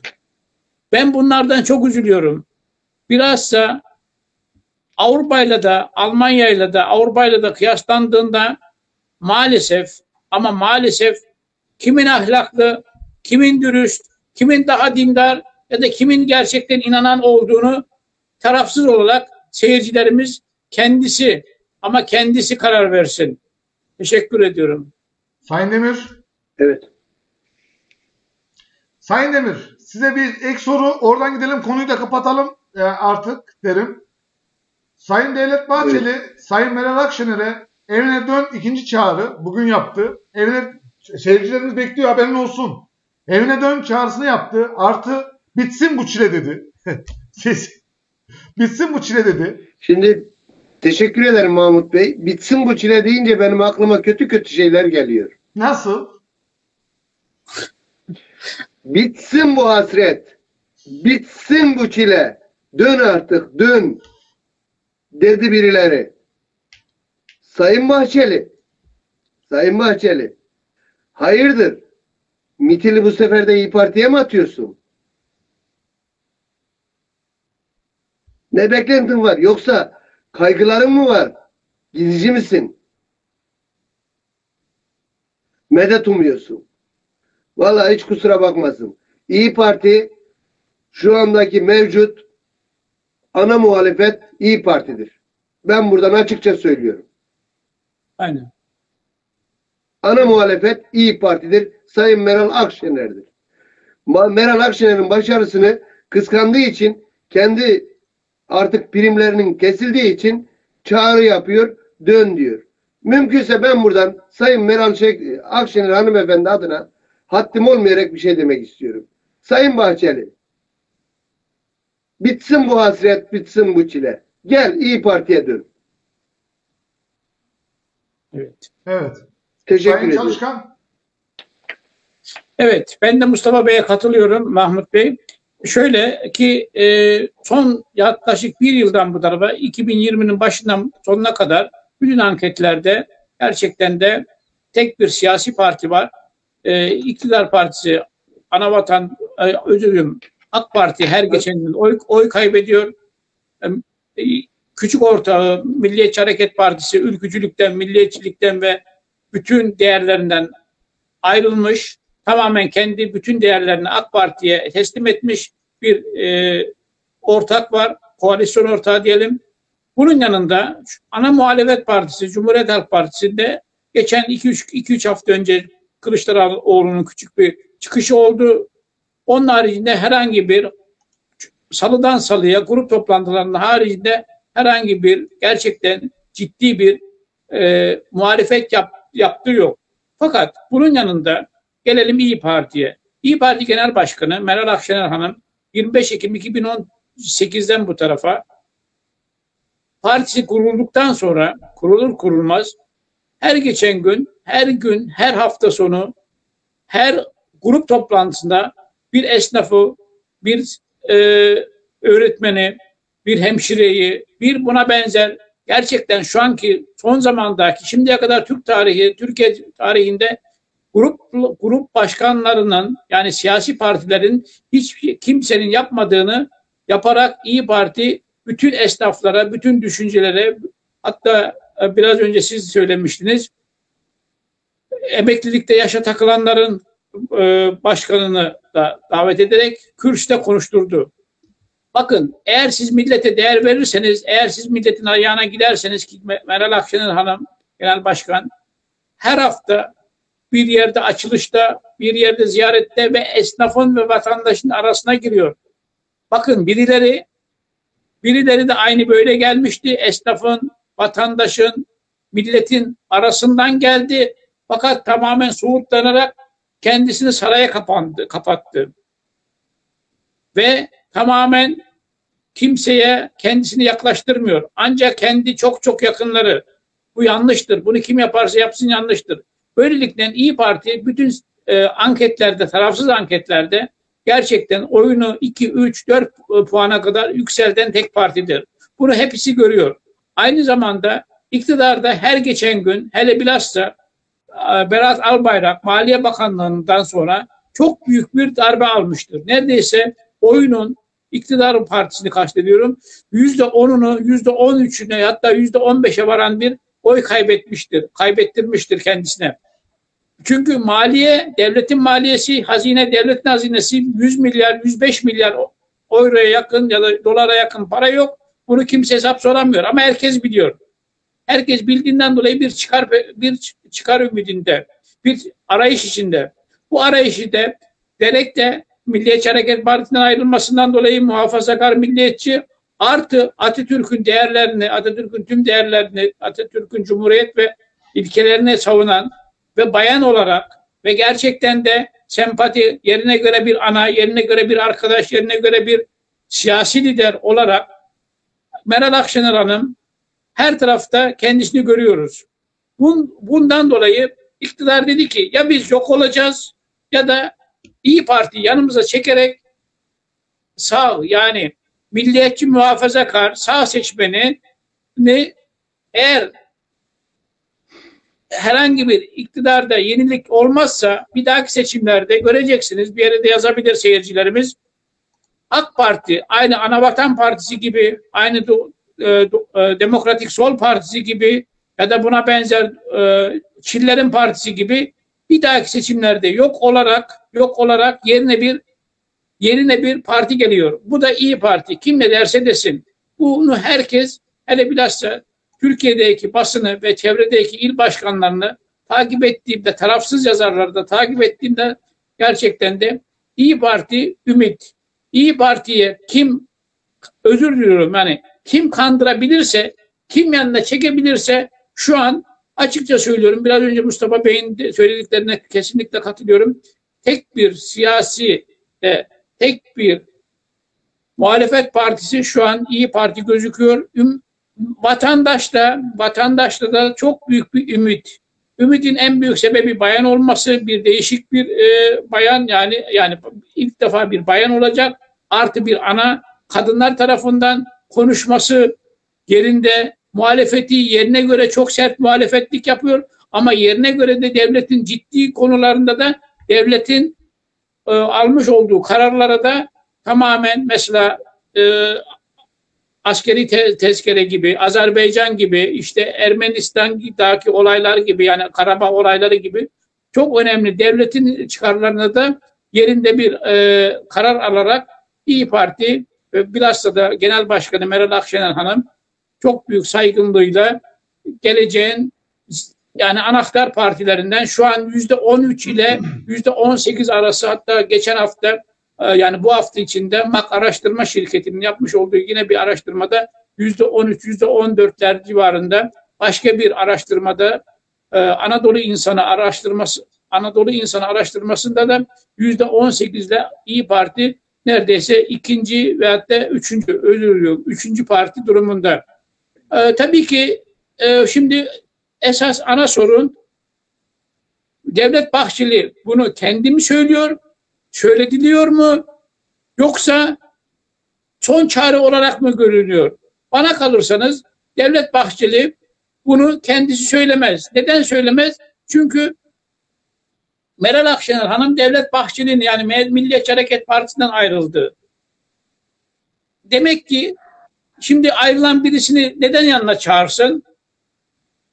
Ya o ihtiyacı var ya da durumlar çok kötü. Ya da büyük ortak yani büyük ortak, büyük abi yani iktidar iktidar diyor ki ya diyor Meral Akşener'i yanımıza çağıralım yoksa ikimiz de yok olacağız bir çare bulalım.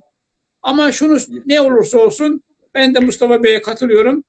Ben olsam yani e, kesinlikle İyi Parti şu an belki tek e, toparlayıcı sağda bir İyi Parti, solda da bir Cumhuriyet Halk Partisi olarak bence gelecekte 2022 ya da 23 seçimlerinden sonra iki büyük parti olarak göreceğiz. Çünkü AK Parti elindeki en büyük kozu altın tepsideki, altın tepside sunulan iktidarı 10-18 yıllık o iktidarı maalesef her geçen gün, her geçen gün kıymetini bilmediği gibi vatandaşı da hor görmeye başladı, vatandaştan uzaklaşmaya başladı, vatandaşın esas ana temel sorunlarıyla dalga geçilmeye başladı. Bakın en önemlisi, en acısı da bu. Sayın Çalışkan, Vatandaşın 2022 yılında e, 2022 yılında değişebilir mi? Seçim geliyor 2023'te, 2020 veya 2021'de AK Parti hükümeti tekrardan vatandaşı yani nasıl anlatsam değişir mi durumu? Şu anki anlamamazlık hali anlar hale dönüşür mü?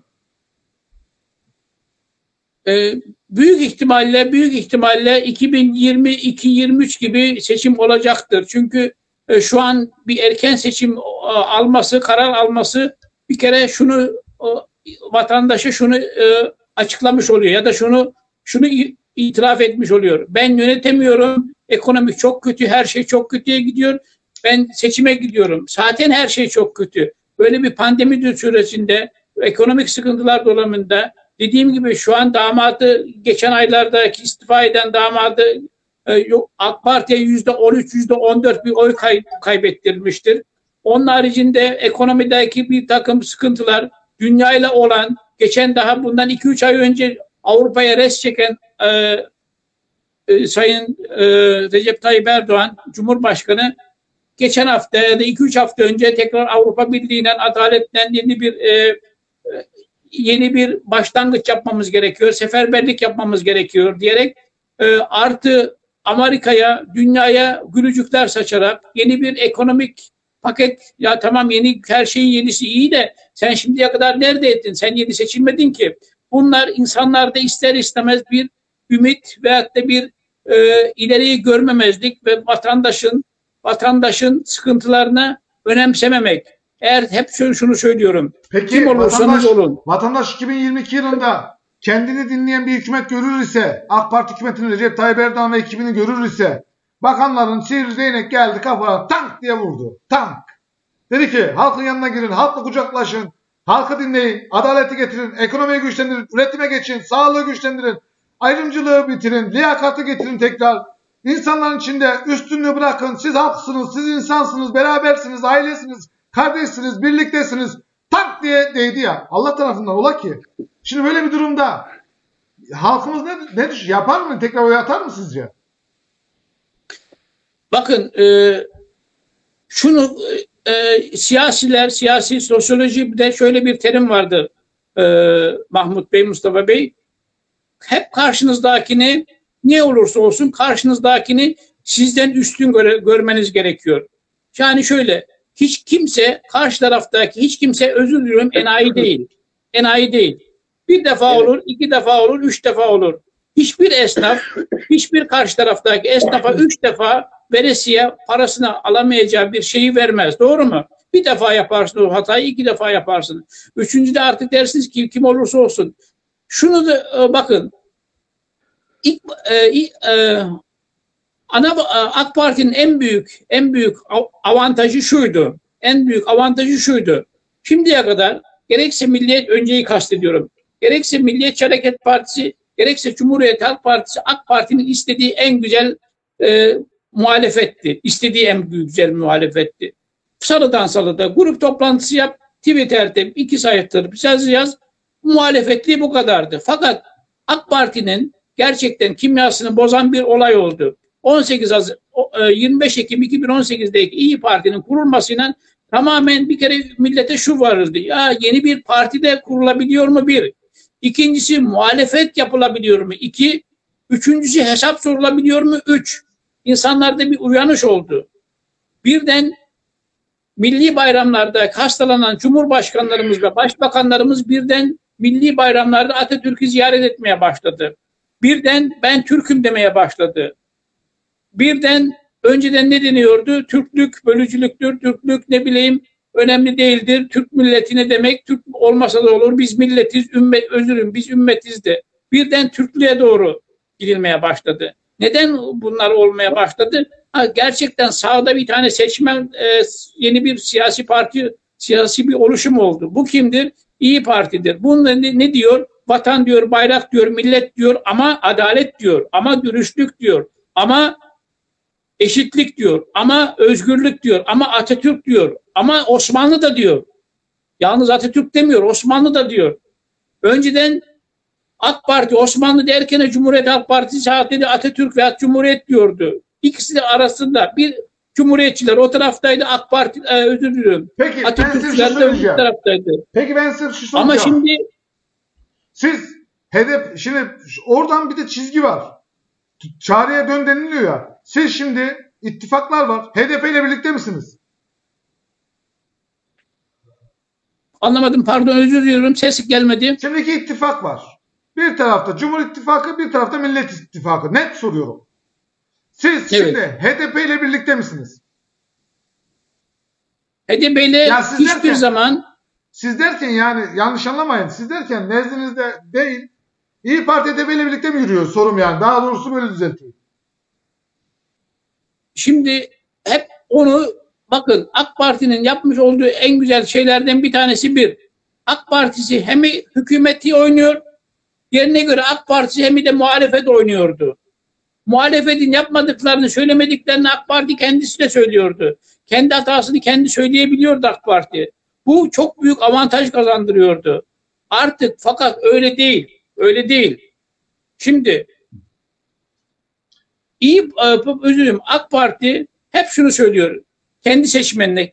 Bakın AK Parti'nin şu an tek bir amacı var. AK Parti oyunu yükseltmek değil. Amacı o değil artık. AK Parti'nin tek bir amacı var. AK Parti şu anki şu anki oy potansiyelini koruyabilmesi. Yükselme, yükselme, yükselmeyeceğini kendisi de biliyor. Oy potansiyelini koruyabilmek, oy potansiyelini korumak, korumak için de ona buna gerçek ve hatta gerçek olmayan bazı söylemlerle işte e, Millet İttifakı'nın yanında HDP de yanındaymış. Hangi bir siyasi ortamda, hangi bir siyasi amblemde, hangi bir siyasi olayda AK Parti ile özür dilerim Millet İttifakı'yla HDP beraber oldu. Ha şu bir gerçek, şu bir gerçek. Şunu diyorsanız doğru. İktidarın yani anavatan özür hep anavatan diyorum. AK Parti'nin ve MHP'nin yürüttüğü tabii ki AK Parti ağırlıklı iktidarın yürüttüğü hükümete bir Cumhuriyet Halk Partisi de muhalefetlik yapıyor, İyi Parti de muhalefetlik yapıyor, Saadet Partisi de muhalefetlik yapıyor ama HDP de muhalefetlik yapıyor. Saadet Parti'nin muhalefetlik yaptığını kimse görmüyor, kimse dile getirmiyor ama HDP'nin muhalefetlik yaptığını bahane ederek, bahane ederek diyorlar ki görüyor musunuz HDP'de iyi Parti e, özürüm HDP'de Millet İttifakı ile beraber. Niye? Neden? Ya kardeşim. Neden? E, özür, özür diliyorum. Özür HDP düne kadar İstanbul'da ya da Türkiye'de 6-7 defa yere yerel seçimler, belediye başkanı seçimleri yapıldı. Şimdiye kadar HDP'nin seçmeni tabanı şimdiye kadar AK Parti'ye oy vermedi mi? Verdi. 5-6 defa belediye başkanı seçimleri yapıldı. O zaman HDP oraya verirken iyiydi de iyiydi de AK Parti'ye verirken HDP iyiydi. Ama bu defa HDP'liler yani Mansur Yavaş'a diyelim ya da e, Ekrem İmamoğlu'ya ya da Millet İttifakı'nı adayını desteklediler. E, bu defa terörist oldular. Ya teröristse o zaman da teröristti, şimdi de terörist. Sayın Madem Çalışkan. terörist kardeşim, ma özür diliyorum son sözüm. Madem terörist senin adaletin var, hukukun var, savcın var. O zaman tutuklasınlar. Eğer gerçekten gerçekten e, teröristse, terörist değilse eğer kurulmuş bir siyasi parti ise o zaman onlara ona göre hareket edilsin. Bir şey diyeceğim. Ee, Sayın şunu demek istiyorum. Kolay kolay kolay kolay son sözüm şu olsun. Artık daha bu millet benim görüşüm bu, benim şahsi görüşüm bu. Bu millet kolay kolay AK Parti'nin yalanlarına bundan sonra kanacak değil. Kanacak değil. Ben Bunu şey- ben söylemiyorum. Anketçiler söylüyor. Anketçiler de şimdiye kadar 35 yıldan bu tarafa takip ediyorum. Anketçilerin yapmış olduğu her anket 3 aşağı 5 yukarı çıkıyor. Şu da bir gerçek. AK Parti düşüşte, İyi Parti yükselişte, CHP yerini e, koruyor. Öbür günlerde işte e, yavaş yavaş bu kadar. Teşekkür Evet. ediyorum. AK Parti'ye yakın bir anket şirketinin buraya gelmeden önce Sorunuz anket- var mıydı? efendim soracağım. Buraya gelmeden önce anket şirketinin AK Başkası? Parti- geleceğim bir şey anlatayım. Anlatayım. Müsaade ederseniz anlatayım bir. Buraya gelmeden önce AK Parti'ye yakın anket şirketinin sonuçlarını geçtiğimiz dün itibariyle inceledim. Mustafa Demir, siz bir şey söyleyecektiniz. Söyleyin ben devam edeyim. Şimdi e, az önce Sayın Çalışkan'a teşekkür ediyorum. Size de teşekkür ediyorum. E, bir soru sordunuz. Dediniz ki siz HDP ile beraber yürüyor musunuz? Evet. Şimdi ben şuradan e, biraz ironi yapmak istiyorum. Mümkünse müsaadenizle. Tabii buyurun. Sayın Akşener, Sayın Akşener, ya bu çadır mahkemeyi niye kurdurdun sen? Sayın Akşener, Osman Öksüz'ü devlet televizyonuna niye çıkarttın? Sayın Akşener, bu vatanı satan askerine kurşun sıkan insanlara hain ilan edildiğinde kucak, açak, kucak açtın. Ayrıca ayrıca benim FETÖ'ymüş şuymuş geri gel geri dön çağrısını niye yaptın Akşener? Sayın Akşener. Burada herkes aynaya baksın kendini görsün. Hiç kimse HDP ile kol kola değil yan yana değil. Ben buradan şunu da söylüyorum. HDP velev ki terör örgütü, PKK, vatan haini. O zaman meclise niye sokuyorsun kardeşim? Niye seçme seçilme hakkı veriyor? Neden ar- neden adamlar- altına kırm- neden altına kırmızı plakalı araba ve taksi ediyorsun? Evet. Yani makam aracı neden veriliyor? Sen önce iğneyi kendine batır, ondan sonra çuvalduzu karşıya batır. Abi Herifin dediği gibi bir şimdi bitti mi Demir? buyur abi. Yok devam et bitir. Ben size ses geç geldiği için dedim. He. O yüzden ben diyorum ki hiç kimse kimseye HDP ile kol kola demesin. Önce kendine baksın. Asıl HDP ile kol kola olanlar çadır mahkemeye kuranlar. Asıl HDP ile kol kola olanlar meyli meyli şarkısı söyleterek Barzani'yi karşılayanlar. Barzani'yi Barzani'yi kongresine davet edenler. Evet. Bu ülkede Evet buyur. Evet. Buyurun. Şimdi Bu ülkede bu zihniyet bitmediği sürece bu şey düzelmez. Buradan şunu açık ve net söylüyorum. Cumhur İttifakı aşırı derecede kan kaybediyor. Aşırı derecede ve Devlet Bahçeli'ye o kelimeyi söyleten de iktidardır. abi ben Abileridir. Şunu söyleyeceğim. Size sözü bırakıp sonra toparlayıp kapatalım artık istiyorum. Ee, Bence de bence de çok söyledin. çok uzadı, uzadı. Seyircilerimize sıkıldı. O Pendik Gelecek Partisi Pendik hafta cumartesi bekliyorum seni. Mutlaka takıl. O yorumunu sildin. Abi şunu söyleyeceğim ya. Şimdi benim amacım Bana ulaşsın ben irtibata geçeyim. Sayın Demir numarası yok. Yazdı gitti. Sildi. Sayın Demir. Benim amacım Recep Tayyip Erdoğan gitsin de Devlet Bahçeli gitsin de Kemal Kılıçdaroğlu gitsin de kim gelirse gelsin değil. Ben bak çok samimi konuşacağım. Çok samimi bir şekilde konuşacağım. Şimdi benim amacım topyekun ülkenin kalkındırabilecek kim var ise halkın derdiyle dertlenip halk anlayacak, halkla yürüyecek, vatandaşıyla birlikte olacak kim var ise başımız gözümüzün üzerinde yeri var. Sayın Çalışkan çok Evet. önemli bir konuya değindi. Şimdi iki ittifak var. Maalesef partili cumhurbaşkanlığı sistemine koalisyonlar bitsin, istikrar gelsin diye bu millet evet dedi. Birinci ana gaye buydu. Şimdi maalesef her gün bir parti kuruluyor. Her gün. Çünkü ittifaklara yama olup meclise girmek çok basitleşti. Yani hangi ittifakta yer alacağın belli bile değil. Her geçen gün partinin içinden parti çıkıyor abi. Şimdi şuna getireceğim. Şimdi Saadet Partisi'nin oyunun az olduğu için yıpratılmak istenmiyor. Gündeme de getirilmiyor. Sonuçta en baba, en sert muhalefetlerden birisini Temel Karamollaoğlu yapıyor. Güzel de ironili yapıyor. Güzel, hamasetli, konuşkan, güzel tak tak tak. Adam çok güzel bir siyaset yapıyor. AK Parti'nin üzülerek söylüyorum, üzülerek söylüyorum getirdiği sistemi şu an nasıl o sistemden çıkarım arayışı içerisinde. Yani bir nevi bırakın ayağına kafasına sıkmış gibi bir durum var. Çünkü neden? 50 artı 1 %50'den bir oyu büyük biliyor musunuz? Bakınız. Savcı Sayan Van Büyükşehir Belediye Başkanı geçen gün dedi ki bu adamlar yani bu adamlar derken şu anki iktidar mevcut muhalefet şey e, millet Cumhur İttifakı yanına alabileceği yanına alabileceği HDP'yi alabilir mi? Alamaz. İyi Parti çağırıyor gelir mi acaba umutları var. Cumhuriyet Halk Partisi'ni alabilir mi? Alamaz. Şu an. Çünkü HDP'yi aldığında Milliyetçi Hareket Partisi bir yerde tutamayacak. 2 2 daha 4.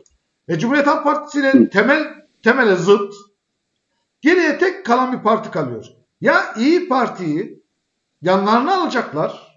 Çünkü başka türlü iktidarlarını muhafaza etme şansları yok. Ya da HDP'ye oy veren Kürt seçmenlerini Kürt Partisi kuruyoruz. Çünkü Savcı Sayan açıkladı dikkatli izleyiniz. Kürt Partisi kuruyoruz diyerek parti kurup oradan artık ne oy kopartabilirsek düşüncesine gidecekler. Neden?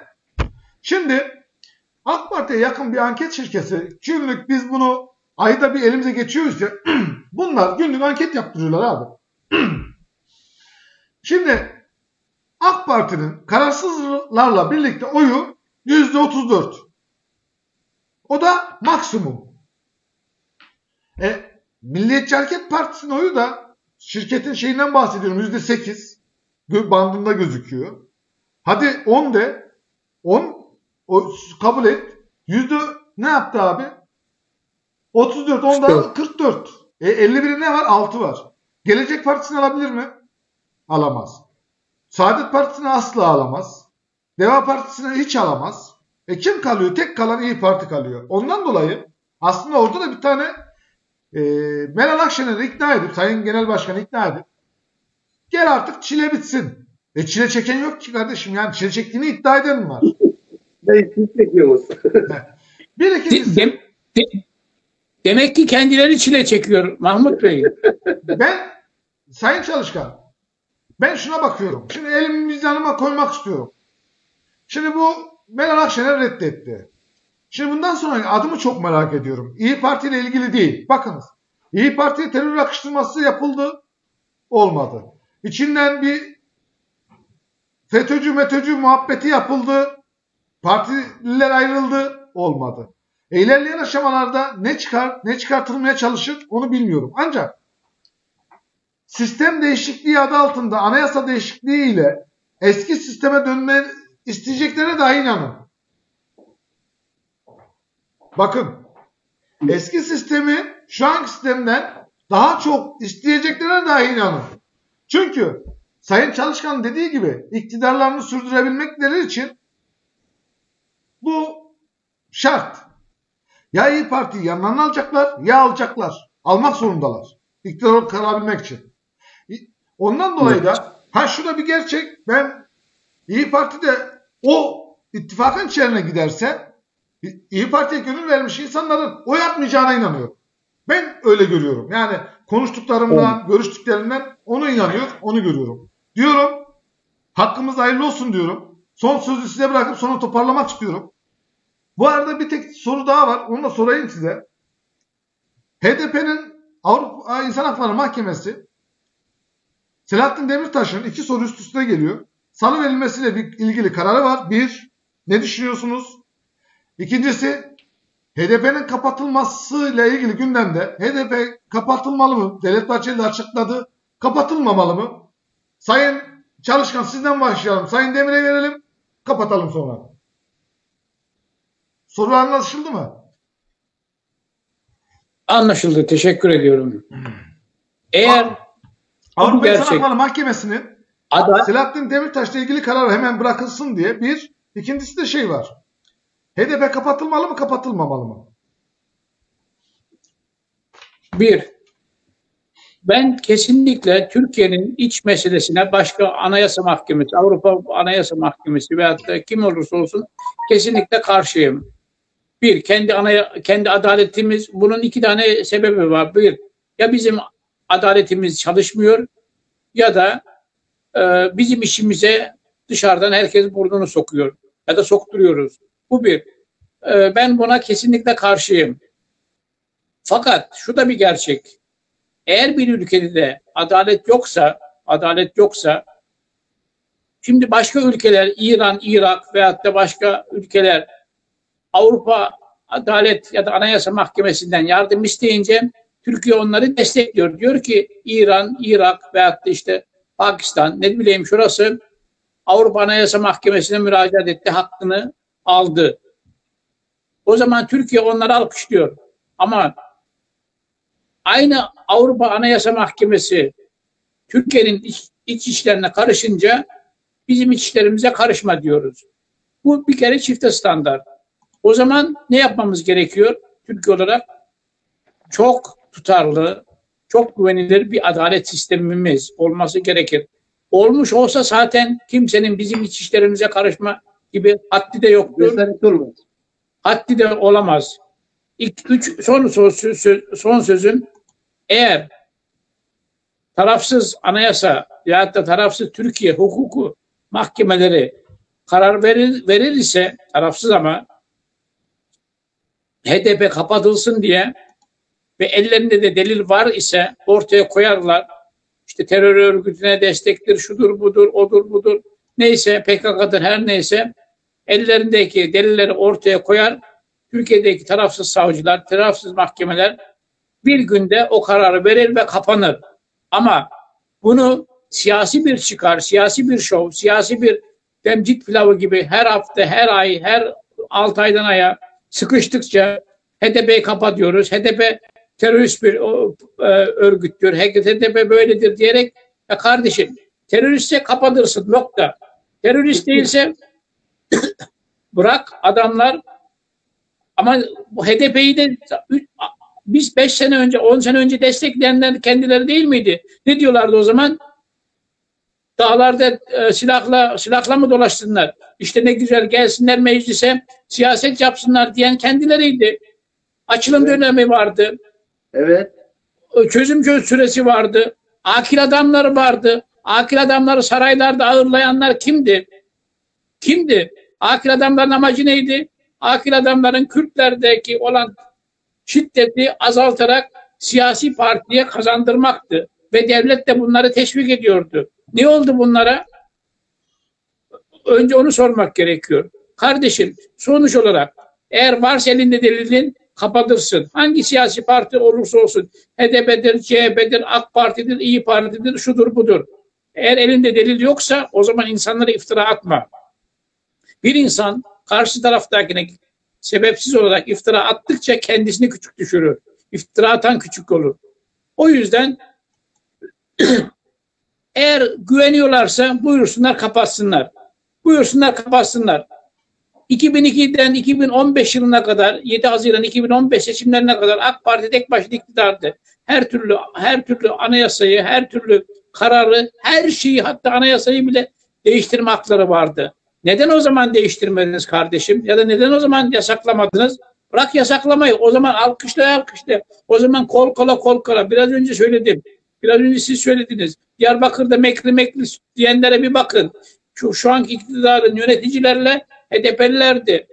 Çadır mahkemelerini kuranları 29 Ekim Cumhuriyet Bayramı'nda peşmergeleri e, lahmacunlarla, aydanlarla karşılayanlar kimdi? Havuz artı artı artı. Nasıl? Hamur sınır kapısından davul zurnayla karşılayanlar kimlerdi? Onlar kimdi? Dolma Bahçe'de görüşenler kimdi? O zaman ama alkışlıyordunuz HDP'yi. AK Parti olarak söylüyorum. O zaman alkışlıyordunuz. O zaman birdiniz. O zaman ne diyordunuz? O zaman da bir geçerli kendinize göre bir sebebimiz vardı. Ne diyorlardı o zaman? Dağlarda silah taşımaktansa gelsinler meclise siyaset yapsınlar.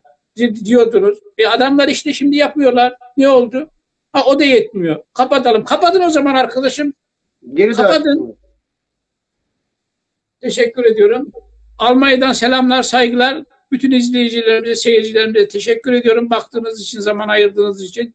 Bugün affınıza sığınarak biraz uzattık. Hakkınızı helal edin. Saygılar. Almanya'dan selamlar. Teşekkür ediyorum. Evet. Sevgili izleyenler, kıymetli takipçiler. Cemal Engin Yurt'un bir yazısı denk geldi. Dün 40 soruda Cemal Engin Yurt, Milliyetçi Hareket Partisi'ne ihraç edilen şu an Demokrat Parti'ye katılan Cemal Engin açıklama yapmış. AK Parti MHP'ye saygı duyuyor mu diye sorulmuş. AK Partiler MHP'yi sevmiyor demiş. Doğru, doğru. Cumhur Çok doğru. İttifakı Ben de katılıyorum. Meral Akşener'i bitirmeye mi çalışıyor diye bu soruya cevap vermesi gerekenler evine dön diyenler demiş. Ben Cumhur İttifakı Meral Akşener'i bitirmeye mi çalışıyor sorusuna. Bu soruya cevap vermesi gerekenler evine dön diyenler demiş. HDP kapatılmalı mı diye sormuşlar. Cemal Engin Yurt olarak HDP'yi her zaman PKK sevicisi olarak gördüm. Ben bunları söylerken kimsenin bir ses çıkmıyordu. Bunun olumlu olduğunu düşünüyorum. HDP, HDP ısrarla ülkede Kürt sorunu var diyor. Adalet yoksa Türkiye'de yok. HDP ülkeyi kamplaştırıyor demiş. Recep Tayyip Erdoğan sizin için ne ifade ediyor? Recep Tayyip Erdoğan'ı kıskanıyorum. Heyecanı hala aynı. Birçok konuda eleştirmeme rağmen başkanlık için tek kişidir. Başkanlık için tek kişidir diyor ya. Bu nasıl bir şey ya? Recep Tayyip Erdoğan başkanlık iddiası olan tek liderdir. Diğerlerine iktidar, iktidarı versen 350 kilometre hızla kaçarlar demiş. Diğerlerine iktidarı versen yapmış bu. 350 kilometre hızla kaçar O- demiş. Abi bugün de söyledi ya. Orada bir şey Şey dedi ya. İroni yapmış orada. e, Sayın Çalışkan, Devlet Bahçeli açıkladı. Bizim adayımız şey dedi. e, Recep Tayyip Erdoğan'dır dedi. Evet. Ya 2023'te şimdi daha Recep Tayyip 2023 Erdoğan. var. Yani şimdi şöyle. Ya bir parti genel başkanı bana göre kendine aday göstermesi, aday görmesi yani amaç o olmamalı mı? Veya nasıl anlatayım şu andan bilmiyorum yani. Benim adayım Recep Tayyip Erdoğan'dır, dem, Erdoğan'dır demesini nasıl görüyorsunuz? Nasıl yorumluyorsunuz? kısacası iki kelime kendisine ve partisine güven, güvenememesinden dolayı. Bu Ekmek, Ekmel, Ekmelettin İhsanoğlu'yla başladı bu güvensizlik. Ondan bu tarafa MHP oy kaybediyor. MHP kan kaybediyor. Farklarında değil. Ama ona buna taş atmaktan da kalmıyorlar. Evet. Mustafa Demir ekleyeceğiniz bir şey var mı? Evet e, Mahmut Bey teşekkür ederim. E, buradan e, şunu söyleyeyim ben. AKP hükümetine kaldırıp ipi atanlar, ipi atanlar, biz asamadık alın asın diyenler, şimdi onunla beraberler. Tam kurdular, buyursunlar Abdullah Öcalan'ı assınlar. Evet. Teşekkürler. Evet. Kıymetli takipçilerimiz önemli yayın esnasında haber aldık. İlacın Türkiye'ye geleceğini öğrendik. İlacın en azından pazar günü yola çıkacağını, pazartesi Allah nasip ederse Türkiye'de olacağını öğrendik. İlacın gelmesi çok önemli. İlacın Türkiye'de aşılamanın başlaması 25 milyondan kişiden bahsediyorlar. Şubat ayı sonuna kadar 25 milyon insanı aşılanacağını söylüyorlar. Devlet Bahçeli'nin Meral Akşener'e dön artık bitsin bu çile olayını yorumladı. Cumhurbaşkanlığı sarayında külliyesinde sarayda Irak Başbakanı'nın ağırlanmasını yorumladı. Emekli yaşa takılanlardan bütçeye kadar birçok konuda yorumlarımızı size anlattık. Dediğimiz gibi bizi bir araya getiren ne maddi bir menfaat ne manevi bir beklenti. Bizi bir araya getiren hakkın, haklının ve halkın yanında olmak iradesiyle bir araya gelmiş insanlardan yoruluyoruz, araştırıyoruz, ekranlara çıkıyoruz ve sizlere anlatıyoruz. Buradan özellikle bize katkı sunan Almanya, soğuk Almanya'dan sıcak Türkiye'ye yorumlarıyla ayrıcalık oluşturan bizim için kıymetli olan Sayın Recep Çalışkan'a huzurlarınıza teşekkür ediyorum. Ben teşekkür ediyorum. Bize İstanbul'da erken saatlerde hayat mücadelesine başlayarak ayaklarının, üze- ayaklarının üzerinde durup ekmeği için memleketini terk edip İstanbul'da gecesini gündüzüne katıp akşam bu saatlere kadar da elinden geldiği kadar yorumlarıyla yüreğiyle katkı sunan Sayın Mustafa Demir'e huzurlarınıza teşekkür ediyorum. Ben teşekkür ederim Mahmut Bey. Her meydanı her zaman dediğimiz gibi kim olursa olsun korkmadan, yılmadan doğruları söyleyeceğiz. Tepeden tırnağa elimizden geldiği kadar bütün gerçekli, gerçekleriyle ortaya dökeceğiz. Dört maaş alanlara neden dört maaş aldığını bir kişiye de dahi yayınımız gidecek olsa da yılmadan anlatacağız. Beş bir eve beş yerden maaş giren insanın sorgulamasını da yapacağız. Bu ülkede kimsenin ayrıcalığının olmadığının da buradan parmağımızı yukarıya kaldırarak şehadet parmağımızı yürekten haykıracağız. Ve samimi bir şekilde korkmadan, yılmadan tüm gerçeklikleri ortaya koyacağız. Burası Er Meydanı. Buraya İyi Partililer davetlidir. Buraya Cumhuriyet Halk Partisi davetlidir. Buraya AK Partililer davetlidir. Buraya Milliyetçi Hareket Partililer davetlidir. Saadet Partililer davetlidir. davetlidir. Konuşulacak, anlatılacak, eteğinizdeki taşlar dökeceğiz ne var ise. Gündeme dair, eskiye yönelik. Er meydanda sonuna kadar kapımız size açıktır. Yorumlarınızda hakaret olmadığı müddetçe vereceğiniz tüm eleştirilere yürekten açıyoruz. Kıymetli izleyiciler, takipçiler.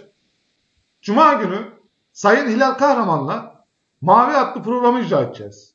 Çok önemli, güzel bir Kocam Ben Doğurdum isimli kitabın önemli kısımlarını kendisine bizzat sorarak kendisinden öğrenme fırsatı yakalayacağız. Cumartesi günü Nusaybin, Mardin ilinin Nusaybin ilçesine gidiyoruz.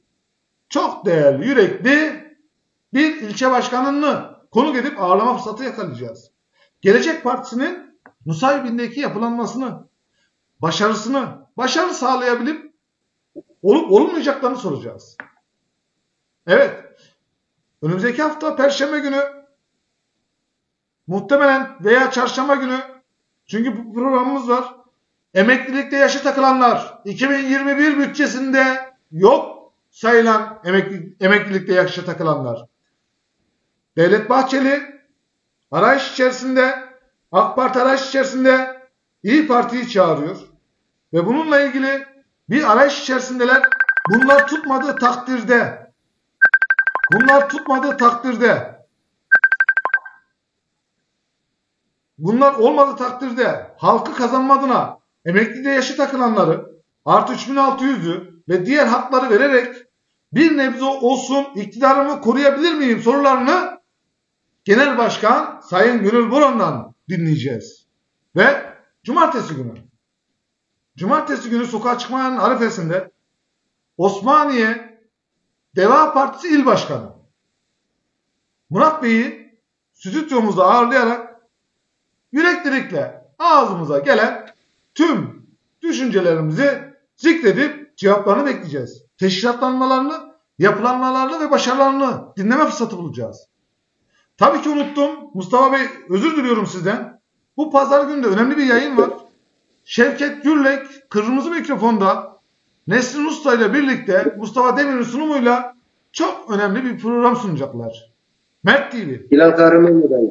Hilal Kahraman hanımefendi de dahil olacak. Mert TV. Kanal 328 ortak yayınında Toprakkale TV ortak yayınında sizlerin karşısına dimdik çıkmaya devam edeceğiz. Sürçülisan ettiysek affola. Bizim eleştirilerimiz yapıcıdır. Kimseyi hakir görme üstüne eleştiri kurmuyoruz. Elinden, neferinden en tepesine Cumhurbaşkanı'na kadar. Hepimiz bir kardeş olduğumuza inanıyoruz. Ülkenin bölünmez bütünlüğü hariç her konuda gidişin Türkiye Cumhuriyeti'nin ilelebet varlığına olduğuna inanıyoruz. Bu söylemlerle bizi din, lütfedip dinlediğiniz için saygılarımızı sunuyoruz. Hoşça kalın. Allah'a emanet olun. Hoşçakalın. Çok çok teşekkürler ediyoruz.